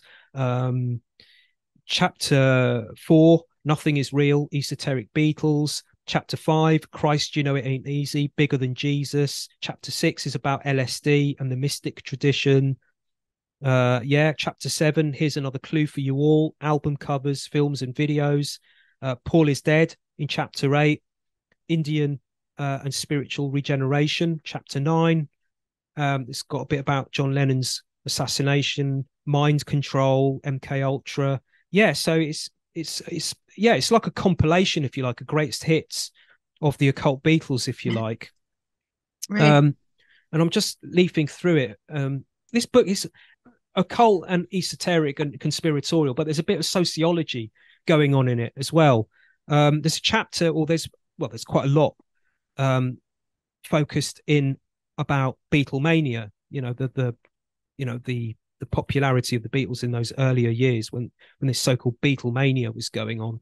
And what Sean does is he likens that to um, Dionysus, um, the ancient Greek god. He, he likens Beatlemania to it being like a Dionysian rite. Um, and I'm just leafing through the book here. I'm trying to find the passage. There's a piece in the book here where he quotes a musicologist by the name of Ruth Padel, who writes that drink, drugs, ecstatic loss of self in illusion of every kind, especially drink and madness, violent dance, crowds, theatrical spectacle, and violence. As a summary of 60s rock, Dionysus couldn't be bettered. In the 60s, popular culture made him the figurehead for male rock god. I'm just leafing the page here. Um, um, yeah, so this is what Sean when he's explaining Dionysus and likening it to the Beatles. Um, as well as filling a void left in the socio political environment of America during the early 60s, the Beatles also represented the changing attitude in personal affairs in the new youth culture and the release of sexual tensions and explorations that had been unhealthily suppressed during the post war Anglo American culture, and without doubt as a response to changing attitudes towards women after the war. The Beatles unleashed dormant sexual urges that manifested themselves like a Dionysian rite, in which girls seemed to behave like Maenads, the priestesses that oversaw the Dionysian rites. In Greek mythology, the Maenads, mad women or raving ones, in other words, often portrayed with supernatural associations, were inspired by Dionysus into a state of ecstatic frenzy through a combination of dancing and intoxication. Dionysus, or the god of alcohol, Bacchus, who incarnated the androgynous young male, a catalyst of wild energy, was the link between new raw sappy growth in vines or young men, crowd ecstasy, wild dance, wild nature, drink, illusion and hallucination, madness, tragic theatre and violence, maddened his worshippers, the Maenads, who tore up live animals and expressed their suddenly abnormal consciousness in hallucinating and crazy dance with the aim of removing inhibitions and social constraints, liberating the individual to return to a natural state. The act of pulling at the Beatles, pulling their clothes or pulling their own hair, which is what used to happen back in those days, doesn't it? In the Beatlemania years, the fans would pull at their clothes and try and tear their hair. The act of pulling at the Beatles, pulling their clothes, or pulling their own hair seemed to suggest the activities at such rites in which the Maenads would pull apart the flesh of the resurrected Dionysus. The Beatles often barely got away with their lives when they were surrounded or pursued by hormonal teenage girls. When rock and roll had unleashed, or or I should say, what rock and roll had unleashed was essentially the forces of Dionysus. And this ultimately reached its peak expression in Beatlemania, when the girls would scream wildly in their concerts, pull out their hair, and rip the clothes from the band if they could have. In fact, the energies were so intoxicating that it seemed to verge on being violent, maniacal, as if, like in the Dionysian rite, the Maenads would tear Dionysus limb from limb in order for him to rise again out of his own death. And this is the bit that got me, um, which I thought was quite original. Um, what Sean does is, you know, the Beatles in the in those Beatlemania years when they were on stage, they used to sing "She Loves You," for example, and then they would go woo and Right. shake shake their heads. And what happened was when they shake their heads, their mop top hair would bounce around, and all the girls would go absolutely crazy. That was the part where they would scream the most when they shook their heads. Um, Right. so, with that in mind, this is what Sean states in his book. The trance induction central to the cult involved not only chemognosis, i.e., transformation, usually of consciousness through chemical substances or alteration of biochemical substances in the human being, but also an invocation of spirit. In the Dionysian cult, this would be through communal dancing to music, i.e., to drum and pipe, and with the bull roarer, an unusual vibrating instrument, while characteristic movements, such as the backward head flick found in all trance inducing cults, such as in uh, Afro American voodoo, for example, were also part of the transforming effect. Interestingly, it was the ha- uh, famous head flick of the Beatles, equivalent to the Elvis pelvic thrust, that would have the girls screaming in frenzy. Uh, Mhm. yeah, I just that was- Interesting. yeah, it is. I thought that was quite original, uh, uh, quite an original Yeah. look on it. That is, yeah. So that's I've behind. often wondered those the um you know the authors and stuff that are coming out more recently if they've you know perused some of our blogs and our writings you know because a lot of a lot of things are brought up that have already been discussed you know for Yeah. years now and it's just it's just interesting but that is definitely a unique take I haven't heard that one so that's great yeah, that is. And did you know you're in this book? what You're in this book. I'm in the book You're in the book. You're in the the reference section in the sources. I kid Really? you not. I'm I'm leafing through it now. I just remembered, and I'm trying to find it. Um, you're in good company. We've got in the links page. You've got Corbett Report, um, LennonMurderTruth.com, Beatles Bible, Robert Richard uh, Hieronimus. Uh, here you are. Here you are. You're here. Here we go. Page 281 in the in the um, index section. Just a few lines after PlasticMacker.com and Henry Macau. Um, number nine blog. He's he's referencing one of your articles. Uh, the number nine blog.wordpress.com, 2016, uh, 20th of the sixth. I've opened up the doors. oh wow nice Yeah. So well there that- we go There you go. You didn't know that, did you? I'm practically famous. Well, hey. Yeah. So that's Behind the Wall of Illusion, the religious, occult, and esoteric world of the Beatles, out again uh, in 2023 by Sean McLeod. Also out um, uh, this year. Um, it came out at a film festival in 2022, but it actually came out on general, well, almost general release, kind of limited, but more general than just at a film festival, was um, the documentary by May Pang, um, which is called The Lost Weekend, a love story. Um, have you seen this? I haven't seen it yet. I've Um, um I I follow May Pang on various social media, and so I've read um she's you know uh, released a lot of like excerpts and stuff like that, and has talked about it and all that good stuff. But I have not actually read the whole Yeah. entirety of it. Yeah. Um I've seen it. Um it's really difficult to find and to get hold of in the UK. In America, Mm. I think it's available on Amazon. I think you can get it on DVD and Blu-ray as well.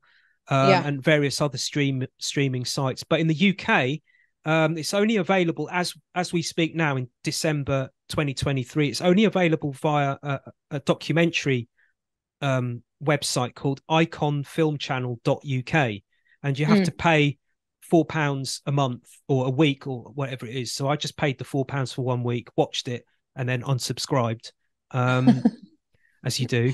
Um, Right. you know what? I don't think if you watched it, I think you'd be entertained by it. I was entertained by it, but there's not actually anything in it um, that you will That's think new. that's new. She's just going Yeah. over a lot of the stuff that she's already written about in books, in her previous two books, I think it was, and in, said in interviews. And yeah, she she yeah. I mean, we we've talked a, a bit about it on past editions of Magical Mystery Talk. She talks about when um the the hypnotist thing Right. remember, remember that because of course anyone who doesn't know who May Pang is she was John's girlfriend basically it was one of those weird things where John and Yoko had split up in 1973 and Yoko um in one of these weird Yokoist type fits of behavior. You might call it Mhm. mind control, a handler, maybe. Maybe it's her being a handler to John. Um, suggested to their secretary, May Pang, that maybe she would like to. John's leaving the nest, is leaving Yoko. Maybe it's good if she, if May went with him. Um, Right. Yeah, which is just what? It's just. Anyway, so she does. May does go along with John, um, even though in the documentary she claims that she didn't want to initially, but John Right. charmed his way into her, sort of charmed his way into her affections, and, and she, she went with him. Um, and yeah, and they were together for about eighteen months, and and- she claim and she talks about the hypnotist um, event in in in the documentary where she claims that John eventually went back to Yoko one day when he got a phone call uh, from from Yoko, and she said to him that she'd found a hypnotist who'd be able to stop him from smoking. Um, and May says in the documentary, and as she's done in previous interviews, she she was un, she was uneasy about this. She she felt that there was something not quite right about this, More. and she she yeah she said to John, "Please don't do this. Please don't go." Um, but John went. He went to the Dakota, the apartment where Yoko was living, um, and he was there for the whole weekend. He didn't come home. Um, and then when she saw him again, it was on the Monday, and they had a dentist appointment that they'd arranged for the two of them, May and John. And she went to the dentist appointment as arranged, and she saw John there, and she says he was completely different. It wasn't the same person that had left on the Friday for the weekend. He was just like a, almost like a robot kind of thing. And yeah, felt- mhm. and he left her. He went back to Yoko from that point on. So she does talk about that. Um, yeah, just one. It's one thing that just made me feel uneasy. Um, she because she how she initially got to know John and Yoko and worked for them was she actually started. She actually worked before she worked for John and Yoko. She worked for the Beatles' business manager in the late '60s, early '70s, uh, Allen Klein. That's who she Mhm. initially had worked for, and that's how she met John and Yoko. Um, and I just, I don't know. It just she says at the beginning uh, of the documentary. I can't remember. I, she says that she she was at school. She left school. I, can't remember the exact details. I might be getting some of this wrong, but she says she says yeah, she just wanted to leave home and go to New York and make her fortune or do something exciting with her life. So she went to New York and she wanted a job and she thought, yeah, I, I want to get into the record industry or something like this. I might be getting a lot of this wrong, uh, not quite exact, but the roundabout explanation is that she said to herself, oh, yeah, oh, there's a job going. Oh, I know. I'll go to Apple Records and see if they've got any jobs going. So she goes Right. into this office in New York. They ask her if she's good at typing. She says she is, but she's lying. She says in the documentary she wasn't good at typing, and she got the job. Um, is I mean, maybe things were different back then in the early seventies, late sixties, early seventies, but I don't know. It just really was it that easy? Oh, I just decide that I want to go and work at you know, the Beatles record company, and I just walk in and they just say, "Yeah, of course, you can start tomorrow. How about hundred thousand dollars a year?" Or do you know what I mean? It just sounds a little bit Right. bit Hollywood, Perfect. Mm-hmm. like a Yeah. Hollywood movie kind of. I don't know. Right. I get, and also, um, you know, unfortunately, women at that time, it, it wasn't quite so easy to get a job as a woman, especially a young woman, you know, that fresh out of college or whatnot. You know, I think she was Yeah. in her early 20s, if not 19. Yeah, I think she might uh, might have been in her late teens. Yeah, Yeah, and just marched right in there and got a job. That's that does seem a bit far-fetched. yeah, So, and lying about, you know, the skills that she had and yeah, and then ended up becoming a, you know, a close associate to Yoko. That's kind of weird. yeah, So- and and and, and lying, go, go, going for a job and lying when the boss is Allen Klein, who was a notorious figure who was very uh, famous for sacking people, for firing Right. people, for keeping costs down. Would he have stood for this girl being there who actually lied about her job? I don't Right. know. I just, I don't know. It's just a, a little side of me when I heard her say that in the documentary. Just made me feel a little bit, hmm, not sure about this. This sounds a little bit too easy. You know, Right. just walk into a record company and just get a job like that. If that was the case, everyone would be would have done it. Everyone would be doing it. Just sounds Sure. little, I don't know. Uh, I'm not sure. I'm not sure. But um, yeah, so that that's out this year. That um, documentary also out this year. Uh, it came out in October twentieth, twenty twenty three. Was um, Dhani Harrison's new album. I think it's his second solo album. He's also released um, material with a band called the New Number Two. They released Mhm. some albums in the 2000s and 2010s and singles as well and EPs. Um, but he he had a new he released a new album this year called Inner Standing, and I've picked some some of the lyrics out from about three of the tracks because they do have some relevance. I think to they're, they're very magical mystery talkish. Um, Mm. One of the songs is called New Religion, and he's in. in I, I won't give you all the lyrics. I've just picked out the bits that are m- more relevant to us. Um, New Religion, he sings, Scream me the news, sounds like some bullshit. Don't speak too soon, you'll go and say something stupid. Reds and the blues pretending they're different when they are all in cahoots and it's just one crooked system. And I'm thinking Hmm. when he sings Reds and the Blues, he's probably talking about politics, party Mhm. politics, especially in the UK and Britain. You've got the right side of politics of the Blues, the Tories, the Conservatives, and on the left you've got Labour, who are the Reds. The- Right. So That's same here. yeah, so I think he's Yeah. probably that's what he's probably on about there. It's just it doesn't matter who you vote for; it's all the same kind All of the thing, same. all the same. Mhm. Um, we don't eat your food. We're sick of the water. Stop this abuse, plastic and poison. Your head's in the noose, but you're still chasing the farmer. So that's farmer as in pharmaceutical, P H A R M A. Oh, please deliver me, Lord, from the megatech and the coroner. I ain't going to dance for a new religion. Don't suffer fools, my brothers and sisters. There's no time to lose. Society left us. Love is the tool. Raise the vibration, because when you live in the love, it's called a civilization. So that's Hmm. one song. Um, another song is Right Side of History. And basically, that song is just repeating the same, pretty much the same lines over and over again. Um, I'm on the right train. Don't take no shame. Don't cast no blame. I am love. Um, don't preach hate. I am love. Um, and it's pretty much just repeating that. And then there's Like a mantra. like a mantra kind of thing. Um, It's Mhm. quite modern sounding, you know. It's quite electronica. Um, mhm. electronica. It's not like a band. It's, it, does- it doesn't sound like a band album with, you know, guitars, drums, and all of that. It's a very electronic um album. Um, very very contemporary sounding. Uh, and finally, just one more um song, "The Dancing Tree."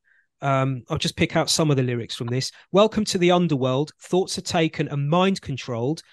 Eyes are still dirty from all you saw because you doom scrolled till your thumbs were raw, pretending all the way they saved the place while addicted to the kickback farmer pay, again, pharmaceutical, waiting for the cult to rue the day, just waiting for the cult to rue the day. Something in the way their motives stray, nothing like an island escapade, waiting for the cult to rue the day, someone better take their toys away. Justice isn't working, all the pigs they're running, you fucking nuisance. Think you're above us? You're bloody lucky. You roll with body doubles. Mm, Mm. mm, mm. Hmm. to emancipate the sovereigns, mass formation became psychotic between the politicians, doctors, and the prophet. I know the difference. It's worth a mention. Our situation is going to need attention for the rejection of a system that's moronic to help the people that are starving for some loving, all the horrors that you've faced just for nothing. So yeah, that's just three sets of lyrics there from from the album. Um, and that particular that particular so- yeah. Any thoughts on those lyrics? Yeah, yeah, uh, they're all kind of interesting, just depending on um, you know, what side of the Beatles that you uh side Yeah. on. But yeah, the the body doubles part and the yeah. yeah, the mind control and all of that. We've had a lot of mind control discussion in this episode, it seems like, and hypnotism. and yeah, Isn't that yeah? Isn't that every episode? I don't know. Well, pretty much, but yeah, but especially this one. Yeah, Yeah. Huh. yeah, and and um, yeah, the way he's singing that particular song, it's like he's singing it to somebody personally. It's not like he's doing it like the when he says "you" in the lyrics. It's not like the the general "you," like all of us. It's like he's Right. saying it to somebody in particular. So very interesting. Maybe uh, again I'm reaching, but he's it's like he's speaking to someone, and here it's in this song he's speaking. He's it's like he's speaking to someone and he's talking to this someone about body doubles. So that makes it very personal, something within the Beatles world, if you like, Yeah, something yeah. personal to him. I don't know. I'm again, I'm just reaching, but yeah, I just thought it was weird that he put "You Roll with Body Doubles" in there, just out of nowhere. It seems that that comes comes into the lyrics. Um, right. and this song features at the beginning of it. It's got a sample from the TV show The Prisoner, um, which was a popular TV show. Um, it was released in the states. It came out in the 60s Mhm. um 19 i think it was released in the uk either in 1966 or 1967 it was a mini series it's what you would call these days a mini series definitely came out in the states as well. And it's about it's it's very allegorical. On the face of it it's quite surreal oh it's very surreal actually. On the face of it if you look at it from the, on the it's like a it's like an onion. It's got different layers to it. Mhm. um and on the on the face of it it's basically a spy thriller it's about this man, an ex um, secret intelligence agent who resigns. And most of the opening titles of the show over the 17 episodes, most of the episodes open, the opening titles have this protagonist, this man who gets to be known as the prisoner. He's in London. He's an ex, soon to be ex Secret Service agent. You see him driving to the, his HQ and throwing down a letter of resignation. Then he drives out of the HQ. You see him go back to his house, and the music's playing, the theme music's playing. You don't hear him talk, and he's he's he, he's got some luggage, and and on top of the luggage, um, as he's loading the the the the, the the suit, uh, the the luggage bag with his clothes. On the top is a photograph of a tropical island. So obviously, the insinuation there is that he's resigned from the Secret Service and he's going to go and to a uh, escape to a sunny part of the world and get away from it all. And as he's packing, this gas comes through the door, um, through the keyhole of his front door. Uh, it's like sleeping gas, and it makes him sleep, makes him collapse. And he wakes up and he looks out of the window, and he's somewhere completely different. He's not in London anymore. He's not in his house in London. He's in the village. Um, And this is actually a real village. It's called Portmeirion. It's in Wales. Um, it's a seaside coastal. It's a coastal village, and it's actually a real a real village. It's called Portmeirion, but in the program, it's called the village. And Mhm. everybody who lives in this village are basically prisoners. Um, they're all Secret Service people that have been taken there because they've been found to have been um, traitors, if you like, working for the quote unquote other side. Um, and throughout the whole series, the the controllers of this village are trying trying to find out why this protagonist, who's played by the actor Patrick McGoohan, I think he actually he directed many of the episodes as well. He wrote a lot of it, and I think he might have produced it as well. But don't hold me to that. But yeah, he's the protagonist in this, um, and they're trying to find out why he resigned, but he won't tell them. Um, and he's known as Number Six. Everyone on that on that in that village that isn't known by their name. They're they're known by numbers. Um, and, and in the opening sequences, you always hear Patrick McGoohan say, "I am not a number. I am a free man." Um, so that he's he's basically fighting against this place where he is, and it's as as I say, it's very allegorical. Um, it's very anti. It seems to be anti New World Order, anti Big Mm. Brother, certainly, because everybody, even the village, everyone who lives in this village, when you look at the village, it, it it's like it's like paradise. Um, Mhm. They're all prisoners, but there's no prison bars. You know, it's everybody. You know, you see people going on the beach and have sunbathing, or going for a coffee, or going to the theatre, or to a dance, or just walking around in the sunshine amongst the beautiful scenery. Because it's a very, um, it's a very um, unique place, Portmeirion, where this village is set. Um, it was built by, by an architect uh, in the 1920s, a guy by the name of Sir Bertram Clough Williams Ellis. So it looks beautiful and everything, but in every home, there, there's just there's cameras everywhere. It's there's, there's CCTV cameras everywhere. And don't forget this this was made in 1966, 67. This series, um, so wherever you go, even in your home, there are CCTV cameras watching you, and there are microphones picking up what you're saying, and everything is being monitored. But it's a bit like real life, where people are going about their daily life, and most of the people, the vast majority of these people that are living on this in this village, are are acquiescing to this. Their brain, they're almost like sheep. They're not hmm. questioning the fact that they're being watched, that they're being surveilled. There are very few people in that village who are questioning it, and one of those is number six, Patrick McGoohan, the protagonist in the story. He's constantly fighting against this system, and it's like real life. You know, it, w- you could say that we live in that kind of uh, existence as well. We go about our daily lives. We don't have prison bars, but we're prisoners. You know, we can go to the movie theater, we can go to a cinema, we can go have a meal, go and have fun, go on the beach and have fun. But if you look beyond that outer casing um, and behind it, we're we're all basically sheep. We you know we all take part in elections and Yeah. fall for all the official narratives, and we just follow blindly. Um, so we're all prisoners. So in that sense, I think that's what Patrick McGoohan was trying to say: is that yeah, these people live in a, a fantasy, this beautiful village, but they're prisoners, but without the bars. Um, and the person that runs the village is the manager of the village is number two, and every week in the every episode there's a new number two, and this Mm. is where Dhani got the name for his band, the new number two, um, from this from this figure, this person who, and they're voted in democratically. But um, yeah, again, like real life, you you vote democratically for this number two, Right. but nothing changes. You're still a prisoner. And in each episode, we hear number six ask, Who is number one? So again, you could say, like real life, we have a number two. You could say the prime ministers, the presidents.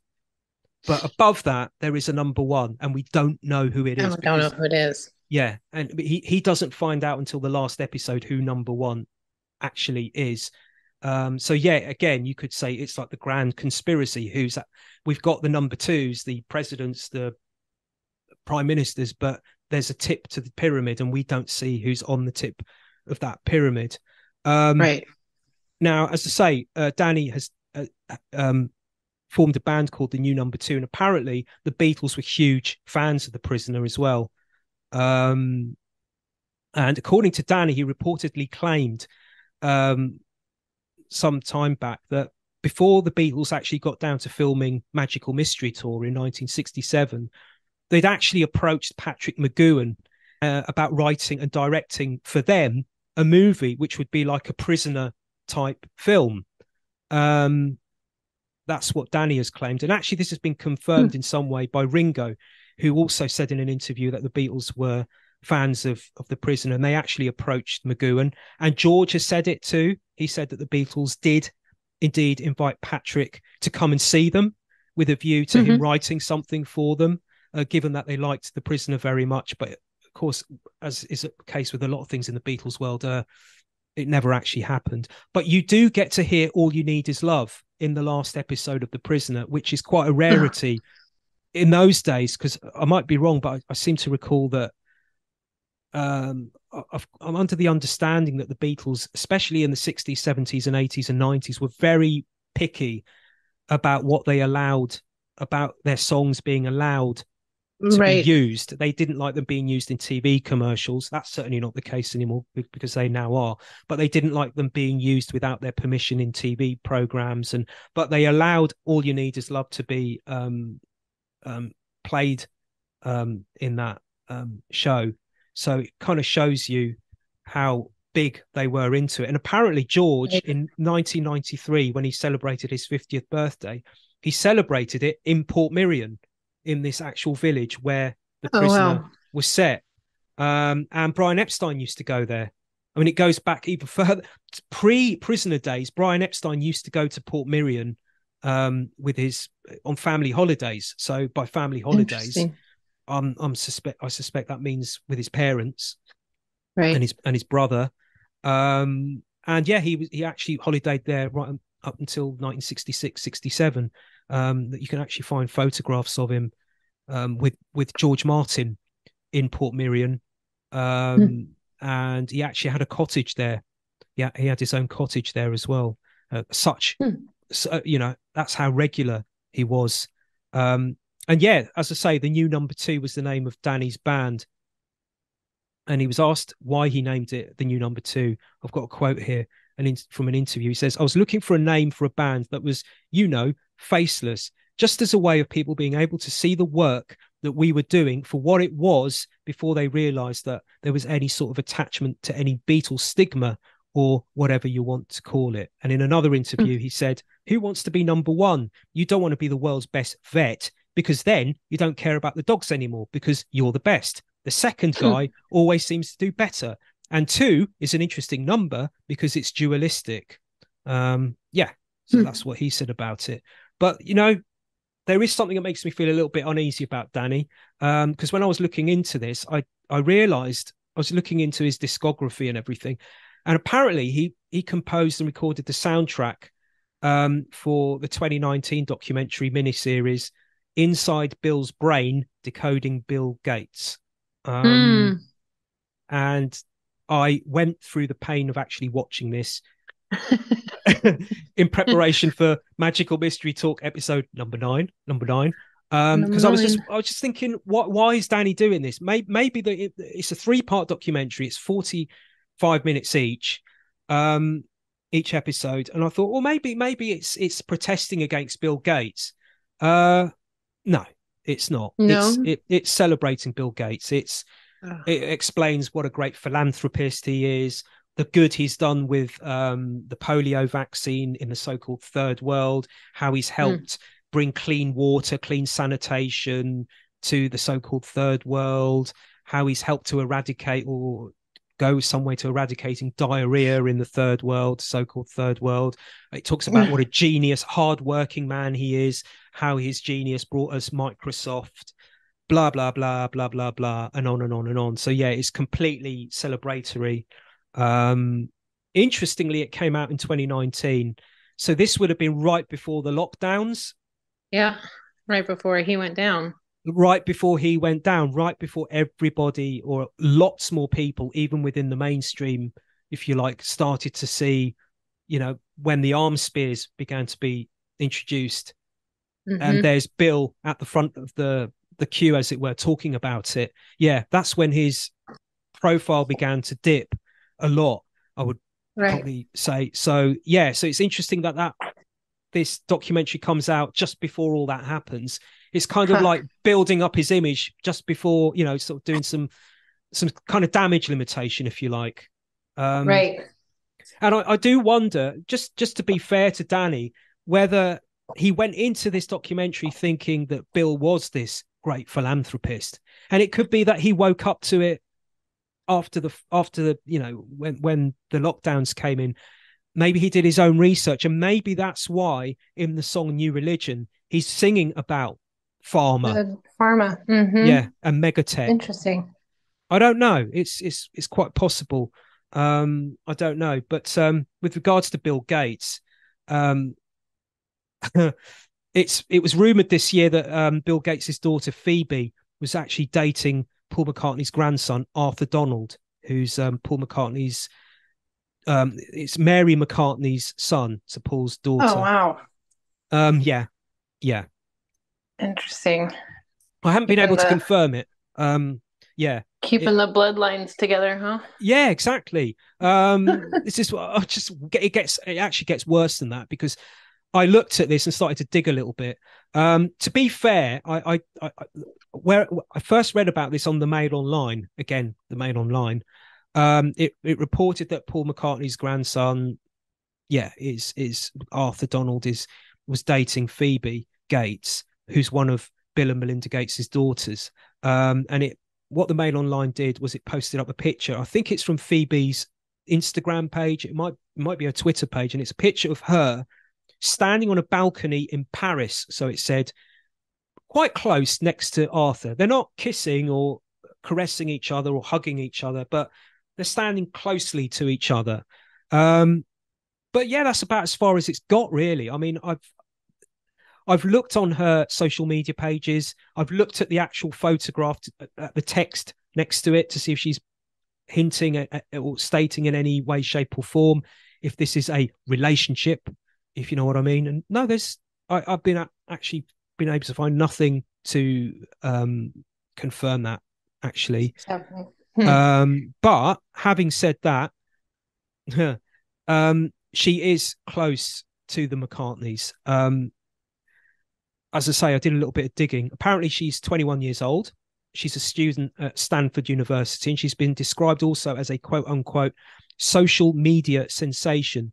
Um, she's got something like over 400,000 followers on Instagram. And this is at the time I'm recording this, I looked back a couple of weeks, and at the time I looked back, um, she had about 405,000 followers on Instagram and about Wow. 240,000 on TikTok. Um, I don't know about Twitter, but yeah, I, I did a little bit of digging into her to find out some more. Um, and yeah, aside from Paul McCartney's grandson, allegedly, um, Phoebe's actually known Paul McCartney's other daughter, Stella, for a long time. Um, and she was actually Phoebe was actually in, um, introduced to Stella through Melinda Gates because Melinda wow. Gates and Stella McCartney are friends and have been for years. Um, yeah, I've got a quote here from October 19, uh, from October 2022. Um, Phoebe said that Stella and Phoebe's mum are, and I'm quoting Phoebe here from the article, are actually good friends. Um, even when I was little, Stella would send me stuff and little notes, and I'd be so excited. I've been asking my mom forever and ever if I could meet with her. So, yeah, according to this article, Phoebe and Stella got together in the summer of 2022 in London and they instantly hit it off, to quote Phoebe. And since then, uh, so the article goes on, the two have remained close, um, mainly via text, texts. And also, uh, Stella invited Phoebe along to one of the annual uh, Paris Fashion Weeks because, of course, Stella is a, a clothes designer. She's got her own fashion brand. Um, yeah, and according to the Mail Online, when they were honing in on her being a quote unquote social media sensation, that's Phoebe. Um, apparently, one of the questions that one of her many followers asked Phoebe was, "What's the downside?" Um, they asked Phoebe, "What was the downside of being this quote unquote social media sensation?" And Phoebe replied that one of the downsides was having to put up with, and I quote, the misconceptions and conspiracy theories about my family. Yeah, it would appear, I might be wrong. As I say, I've looked a little bit into Phoebe, and it would appear that she is the next generation carrying on the, the Gates agenda. Um, because if you look at her social media pages, yeah, sure, there's a lot going on there. Um, yeah, yeah, you know, a 21 year old young woman who's at university. Sure, there's lots of social media posts of her on there partying with her friends, socializing, friends, her and her friends at university, you know, regular stuff. But in amongst all of that, um, she's pushing quite proactively for what one who is of a cynical disposition might deem to be the Gates agenda. Uh, she talks a lot. If you look at her social media pages, uh, video posts, and other such stuff, she talks a lot. For instance, about a woman's right to have an abortion uh, if they Mm. want to, if they so choose. Uh, especially t- with regards to uh, the US, where, if I'm not mistaken, uh, a number of US states in 2022 made abortion illegal after Right. the Supreme Court last year overturned a legal ruling that was passed in 1973, which made abortion uh, made abortion legal across all of the US. That's been since reversed in uh, Right. since then in 2022. So I'm not I'm not having I'm not I, I'm not saying no. I, I don't agree. I personally don't agree with abortion or a woman's right to her, her own body. I'm not saying that. I'm just saying that here we have a member of the Gates family who have this notorious um, history for quote unquote population control and family planning. Here we have a daughter of the of Bill Gates of the of the creators of the Bill and Melinda Gates Foundation um, talking about family planning. Um, to quote her here, she says, I'm working on ways to support the fight for women's reproductive rights. I'm thinking about how I can use my platform and voice to support the activists fighting back to reclaim our reproductive rights, this time for good. I'm aware that my family name brings a platform, and I'm thinking about how I might use this to spotlight the awesome activists doing incredible work day in, day out.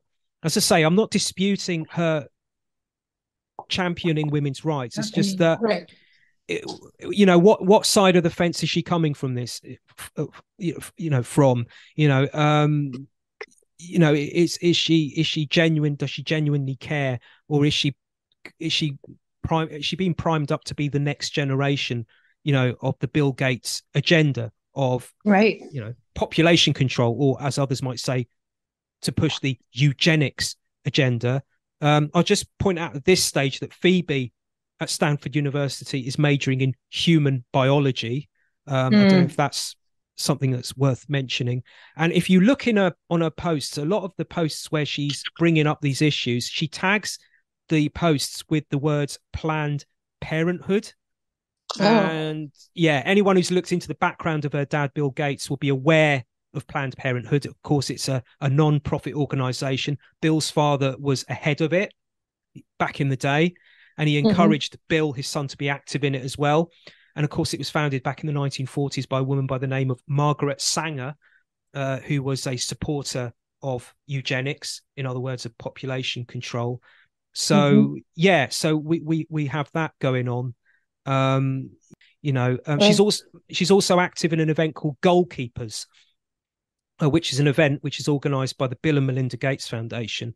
Um, she appeared at an event in New York, I think it was this year, which is called Goalkeepers, um, and it was this live event where people came to talk, um, live speakers. Uh, according to the official website of goalkeepers, and this, and if if I read this to you, you're going to notice all of you know you'll probably notice a lot of the key NWO words in there. Uh, in 2015, world leaders agreed to 17 global goals for sustainable development to achieve a better world by 2030. Started by the Bill and Melinda Gates Foundation, Goalkeepers is a catalyst for action toward these goals, bringing together leaders from around the world to make progress toward ending poverty and fighting inequality. Goalkeepers is dedicated to accelerating progress toward the global goals, using powerful stories, data, and partnerships to highlight progress achieved and bring together a diverse range of leaders to address the world's major challenges. Um, yeah, so in 2015, it goes on. Member states of the United Nations agreed upon 17 global goals to create a more sustainable future for all. All these keywords. Uh, the goalkeepers community is working toward ending extreme poverty and hunger and improving healthy living, education, gender equality, access to clean water, and sanitation. Phoebe has also appeared at a global citizen event. I won't go too much into that. We mentioned that, I think it was in episode eight of Magical Mystery Talk. Um, Julian Lennon um, did a stand up for Ukraine uh, campaign event. Uh, he, he sang Imagine, his dad's song Imagine, for the stand up for Ukraine um, event that took place last year to raise money for Ukraine. Um, and it was supported by uh, EU President Ursula von der Leyen and all the prime ministers and presidents across the world, or most of them. Uh, and yeah, and Julian Lennon sang Imagine to tie into that. So that was this campaign, Stand Up for Ukraine. That was tied into Yeah. Global Citizen. Um, and yeah, so here we have Phoebe appearing at a Global Citizen live event. Um, there's footage of her on stage um, talking at that. Um, yes, if you want to know more information about Global Citizen, uh, you can go take a look at um, or take a listen to episode eight. Um, incidentally, Arthur, Paul McCartney's grandson, I, I, I, I looked online. Apparently, he's a climate investor. Um, Mm. I, I, I don't actually, I didn't actually know what a climate investor was. Um, I've got no idea what a climate investor is or was. I looked on Google just to get like a, a basic explanation of it. Uh, apparently, he went to Yale University as well. Um, but yeah, apparently he's a climate investor. Um, and yeah, and Phoebe um, is attached to the whole climate change agenda in other ways aside from the goalkeepers event that her parents organize. Um, she's also about to launch what's called Fire or Fear. It's spelled P H I A. It probably is Fear, um, knowing the way Ah. these people's brains work. Um, it's a so-called fashion platform. It's a fashion platform um, between her and fellow Stanford student friend Sophia Kianni. So Phia, P H I A. It's probably an amalgamation of both their names. Um, Ah, and Sophia is an advisor for the UN um, which is a bit weird because she's a university student. A university student advising the UN, really? Oh God! um, and she's also the founder of something called Climate Cardinals. Um, which is, according to its website, an international youth led non-profit working to make the climate movement more accessible to those who don't speak English. We aim to educate and empower a diverse coalition of people to tackle the climate crisis. We have over 10,000 volunteers who are translating and sourcing climate information into over 100 different languages with partners like the United Nations.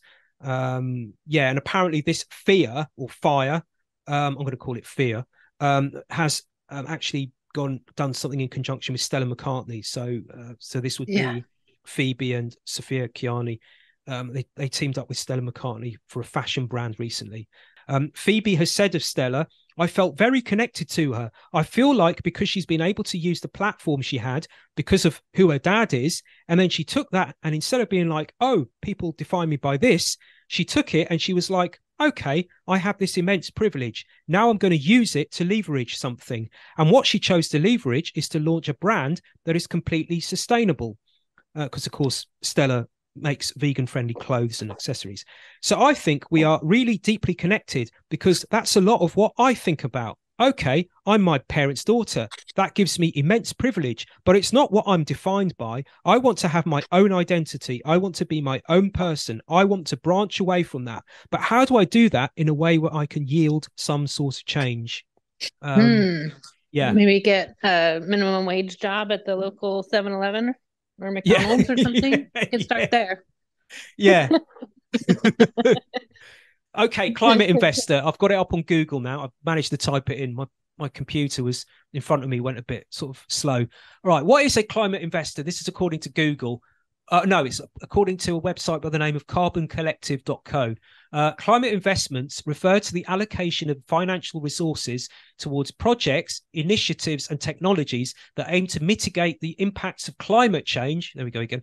And promote the transition to a low carbon, sustainable economy. These investments can be made by individuals, businesses, and governments. So that's the line of work that Arthur um, Donald um, Paul McCartney's grandson is into apparently if if the facts are true that I, I found online so it's like they're all pushing this agenda the the, the McCartneys are, are going with this climate thing because of course Yeah. we've got Stella as well um earlier um, this year I think Mark Mark mentioned it in the intro uh, she got a, a royal honor earlier this year in 2023 she got a, a CBE from King Charles III uh, in other words, what's known as the Command of the Order of the British Empire. And she was given this for, uh, uh, we're told, and I quote, her services to fashion and sustainability.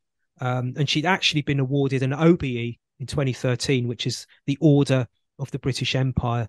Um, presumably, she got that for the same kind of thing, really. So she, basically, she's been promoted. She's been given a higher honor. Um, I do remember we have spoken about Stella before and her um, involvement with various climate change agendas because she's like championing all of that kind of thing. She's appeared at the COP, a couple of COP events, which of course stands for United Nations Climate Change Conference. She appeared at COP 26, which took place in Scotland in 2021. She appeared at the G7 summit to talk about um, the fashion industry and how it can help um, with regards to so-called climate change. And she also appeared at COP28, which took place in um, December 2023, um, which took place in Abu Dhabi, I think it was. She was there as well. Um, and we have talked about her at length in episode six and episode eight. I did some back checking and we talked about her at length about, you know, her involvement in COP, the COP26 and also G7. Um, and we also mentioned in the last episode her she was invited as a guest to Buckingham Palace uh, in November Mhm. 22. She was invited by King Charles, who'd just then not that long been crowned king. Um, Right. That still sounds so strange to me. it does. I keep King wanting to say Prince Charles, but yeah, Yeah. um, yeah. We mentioned that she'd been invited to a, a reception at Buckingham Palace, um, and that was on the eve of COP27. She didn't go to COP27, but she did go to this reception, and I was, and I think we mentioned in that previous episode that also there was um, also attending it was uh, John Kerry, uh, who is apparently the U.S. climate envoy uh, John Kerry, and as Mark pointed out in that episode, he's also a, a member of the secret society Skull and Bones. Uh, also at that reception was um, the chief executive of AstraZeneca. Um, really nice people, and current British Prime Minister Rishi Sunak as well. And it's at that reception that apparently she learned that her children, Stella's children, and Rishi Sunak's children go to the same school or something. Um, Mm. So they got very cozy. They got they cozied up, um, talking about that. Um, something I didn't mention in episode eight was when I read the reports about her going to this reception. There was very little said in the reports that I read about what they talked about, but what was inferred, but not spelled out in words, was that there was some kind of flirtation going on between Charles and Stella. Um, Oh, because yeah, it was it was really weird. They didn't the- like the press, the, the the news reports didn't say it in words, as I say. It was, but it left the reader. It certainly left me with the impression that what they were trying to say was that Charles and Stella were kind of yeah flirting. Um, that there was a little bit of a thing going on, like an energy kind of thing. I don't know interesting. um because apparently when she walked into the room apparently the protocol of what you're supposed to do you're supposed to bow when you see the king or queen you're supposed to bow i think and shake their hand and if you're a woman you curtsy and you lightly shake their hand or something but what he did what charles did when she walked into the room is he went for her and kissed her on the cheeks Mm. um at which point she giggled and she said, and I quote, Your Majesty, I don't know what to do anymore. I think I'm supposed to do this now. And then she curtsied and he laughed. Um, and yeah, it was like the story was trying to, the, like the news reports that I've read about that. It was like they were trying to um, infer that, you know, some, Put something across- going on. something going on or something. Yeah. Mm. Um, yeah, really. mm. Yeah. Yeah. So, um, so yeah, we talked at length about Stella at these G7, that G7 and the, the previous COP that she was at, at COP 26 at great length, in great length in episode eight and six. Um, and one of the things that she talked a lot about, it was almost like a mantra when she appeared at G7. She went, basically, she went to the G7 summit to represent the climate change agenda from the fashion industry's point of view.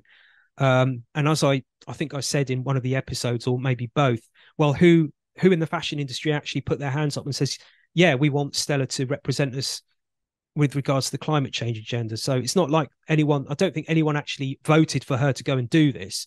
But there, there, there- is this continuing mantra that she's kept saying over and over again at G7 and COP26. And she's been saying it at COP28 as well.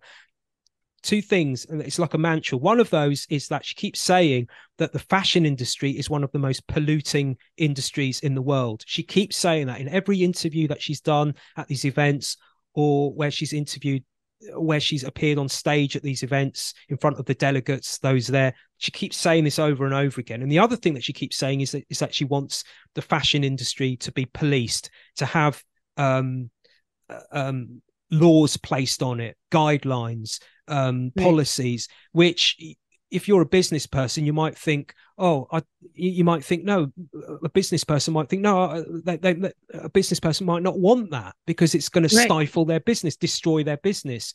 Um, yeah, we discussed this in a previous couple of in in episode eight, maybe episode six as well.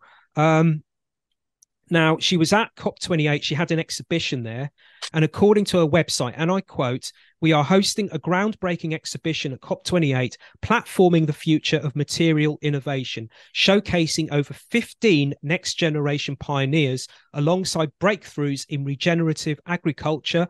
Bio and plant based alternatives to plastic, animal leather and fur, and traditional fibers. Among the innovations being platformed at COP28 are a grape based alternative using the harvest byproduct from the Champagne Maison um, historic vineyard in Reims, France. We have also collaborated with Protein Evolution, uh, which I think is a, I think it's described as a US US's first biological recycling company. So she's collaborated with Protein Revolution on the world's first garment crafted from biologically recycled, infinitely recycled polyester made using their BioPure technology. Uh, she also, uh, she's also said um, in an interview while she was at COP28 that she's exhibiting a leather free alternative called Mirum, I think it's called. It's like rubber based material um, and knitwear made out of knitwear made out of algae, algae. Um, mushrooms, so, right? Yeah, mushrooms. We've talked yeah. about that in the past as well. So, yeah. you know, on the face of it, you know, it, it all sounds great. You know, I, I, I personally don't have an issue with the, you know, of course I don't. You know, I, I, I love the planet I live on. I don't want it to be harmed and raped and you know um, uh, there's yeah. Uh, there's nothing inherently wrong with that um, there, there's a piece there's a there's an interview that she gave where she actually goes on to say with regards to materials that are used animal materials and raw materials that have been wasted to make clothes and accessories she says people need to know that over a billion animals are killed every year um, um, and the chemicals used to tan leathers can be cancerous to the people that are having to work with them. So yeah, I mean, I I, I agree with that. You know, but like I said, we, we've said in previous episodes, is she doing this because she's genuinely she genuinely cares, or does she genuinely care and she's being used by these so-called elites, or is she mm-hmm. actually following a malevolent climate change NWO, if you like, agenda? Um, right. and and with regards to um, you know, especially with you know when she where she says she wants the fashion industry to be policed, you know, that's fine for her. She's a she's you know if if she wants her industry, if she if she goes bankrupt, for example, that that's no big big deal to her in a way uh, you could say you could argue because she's right. her her dad's a billionaire a billionaire pop right. star so but if you're a, if you're a, if you if you're lower down the ladder, as it were, and you rely on your fashion business, your design company, your shop, your high street shop, your store, wherever, to bring the bread and butter to the table, these restrictions, these legis- this legislation might actually ruin you um, and, right. and, and, and take you out. I mean, I am aware that she has said in previous interviews, and she said it in this interview as well, that what it, it, uh, she said it in interviews at COP28 that what she's looking for is she wants legislation and, and restrictions put on the fashion industry, but at the same time, she wants she doesn't want the fashion industry to be damaged. She wants there to be um, incentives, but with uh, she wants incentives basically. She wants rather but, than penalties. Rather than penalties. Um, right. So yeah, so the thing is, there's something quite interesting that she said. Um, she kept going on and on about she kept i've listened to some of the interviews and read some of the interviews that she made at cop 28 and yeah she does keep going on and on about again she keeps saying the fashion industry is one of the most harmful in the world. We need to be policed. She keeps saying it on and on and on. But there was something that stuck out at me. She said she was talking to bloomberg tv and she was talking about her aims to have the fashion industry policed and regulated. And she said that she does this in part by infiltrating. She said I think to infiltrate from within is kind of what I do. It's what my relationship with the fashion industry is to show there is another way. So, yeah, we're working hard at trying to make change. I'm calling out my own industry. Um, yeah, that's that's kind of like yeah, infiltrate. That's an interesting, interesting word. Um, right. Yeah, interesting choice of words. So yeah, so here we have Stella pushing the climate change agenda. We've got um, Paul McCartney's grandson, a climate investor, so called, so it's reported. And whilst all this is going on, and whilst Stella's pushing, flying the flag for climate change, meanwhile, over in Britain, away from Abu Dhabi, um, this year, um, Paul McCartney got into a bit of a, um, a spot of bother with the campaign group Fossil Free London for doing the opposite. Um, certainly a book I haven't read this year and I've got no intention of reading is a, a, new book of photographs he's released. It's called 1964 Eyes of the Storm. And basically, it's a photograph book, um, private photos he said he took in 1964, if you believe that is the actual same person. Um, right. Taking photographs, basically um, private photographs that Paul took back in 1964 when the Beatles were on tour you know, informal photographs of them chilling out on stage, talking to friends, this kind of thing. I, I don't know. I, I, that's the basic gist of it. I think, I, as I say, I, have got no interest in reading it. I don't know. But um, to coincide with this, he he um, he had a um, exhibition of the photographs of some of the photographs at the National Portrait Gallery in London, um, and this was between June and October. And on one of those days, um, it was gate crashed by Fossil Free London campaign group, Mm. who, according to its website, is a grassroots climate action group that aims to kick fossil fuel companies and their financiers out of the UK's capital. So that'll be London, of course. Now, the reason they gate crashed that exhibition was because the gallery, it's reported, is uh, sponsored by the Bank of America, who reportedly, according to one report I've read, are ranked as the fourth largest global banking investor in fossil fuels in a 2022 report, having provided $232 billion between 2016 and 2021 to fossil fuel companies and projects. However, the bank and its peers are coming under increased scrutiny and pressure to divest such interests in order to meet climate goals. Now, apparently, what happens, you can find this, can, there's, there's video footage of fossil free London going to this exhibition, gate crashing it. Uh, and I've seen it and listened to it. Basically, from what I can tell, there was a what they did was they stood in front of one of the photographs, these protesters, and there was about 20 of them. I counted about 20 of them, and they're standing there with a large banner um, that reads Bank of America funds climate chaos. Um, and whilst they're standing there, they're singing Beatles songs, but with the lyrics changed to suit the Hmm. agenda. Um, one of the songs goes, Help, the planet's burning, help, the seas are rising, help, because of oily money, help. Um, oh my god. it's oh god, it's like stick your finger down your throat time, really. Um, there's there's another one. They just look like a bunch of old oh hello Tarquin, oh jolly holly sticks. Uh, That's the oh god. Um, there was Oh another one. It was called Planet B, and it was changed the lyrics to Let It Be. Um, and I didn't go as far as as far as to write down the lyrics of this. I just gave up listening to it. Something like Planet B, Planet B, Planet B, Planet B. We don't have any other planets. We've only got this one, Planet B, or something like that. Um, wow. uh, and then they later took their protest outside of the gallery, and, and yeah, They've just been protesting inside this building, inside the National Portrait Gallery, because they have an exhibition of Paul McCartney's photos that is sponsored by the Bank of America. Bank of America are the fourth largest funder of fossil fuels in the world. Their money is driving climate breakdown.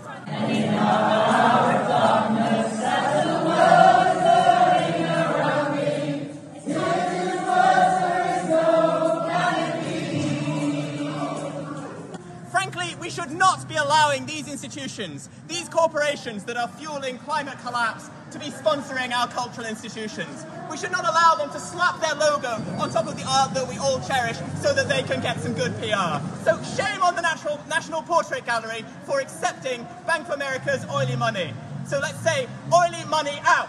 There is no planet B, so we must make this one fossil free.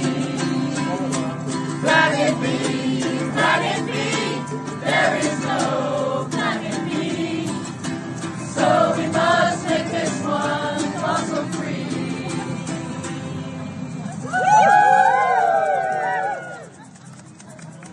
I think what the protesters were there to do was to use Paul McCartney to highlight the fact that the National Portrait Gallery, as a body, as, as a, complete entity, is paid for in some way, shape, or form by Bank of America. Got yeah. it. So yeah, it's a bit of They- a PR disaster in a way. Bit of it, yeah, Yeah. Used his popularity to get the point across. yeah. Um, Yeah. You could maybe say that he, he should have done some. It's a bit of a hiccup for him because he's we've we've talked about this in previous episodes that he he likes to wave the climate change agenda flag. McCartney does, Paul McCartney does, Right. um, and, And yeah, it, it makes him look hypocritical. Um, maybe one might suggest he should have done his homework before he, he went and, and did this because there he is preaching to the rest of us, the great unwashed again, you know, that we should be uh, taking note of climate change. And there he is, you know, staging this event in this place where I don't know. I mean, I, I remember in a past episode we talked about when his Egypt Station, I, you know, the, the, Egypt Station album, his 2018 album, when that came out, there was a track on it um, which is called Despite Repeated Warnings. And I think we talked about the lyrics of that song. I mentioned it in a previous episode because um, Mhm. apparently that is a climate change agenda song that he wrote. Um, to quote him, this is what he said about the song. He said, There was a president named Trump who thought that climate change was a hoax.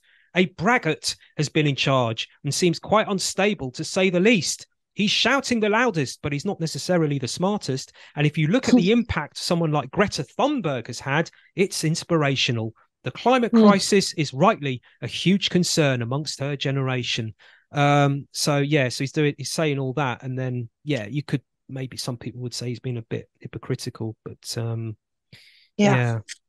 Also, this year it was announced that Yoko's leaving the Dakota. Um, Right. Yeah. Yeah. And- and I think you turned my attention to this story. Um, it was reported earlier this in 2023. Um, Yeah. Um, Yeah.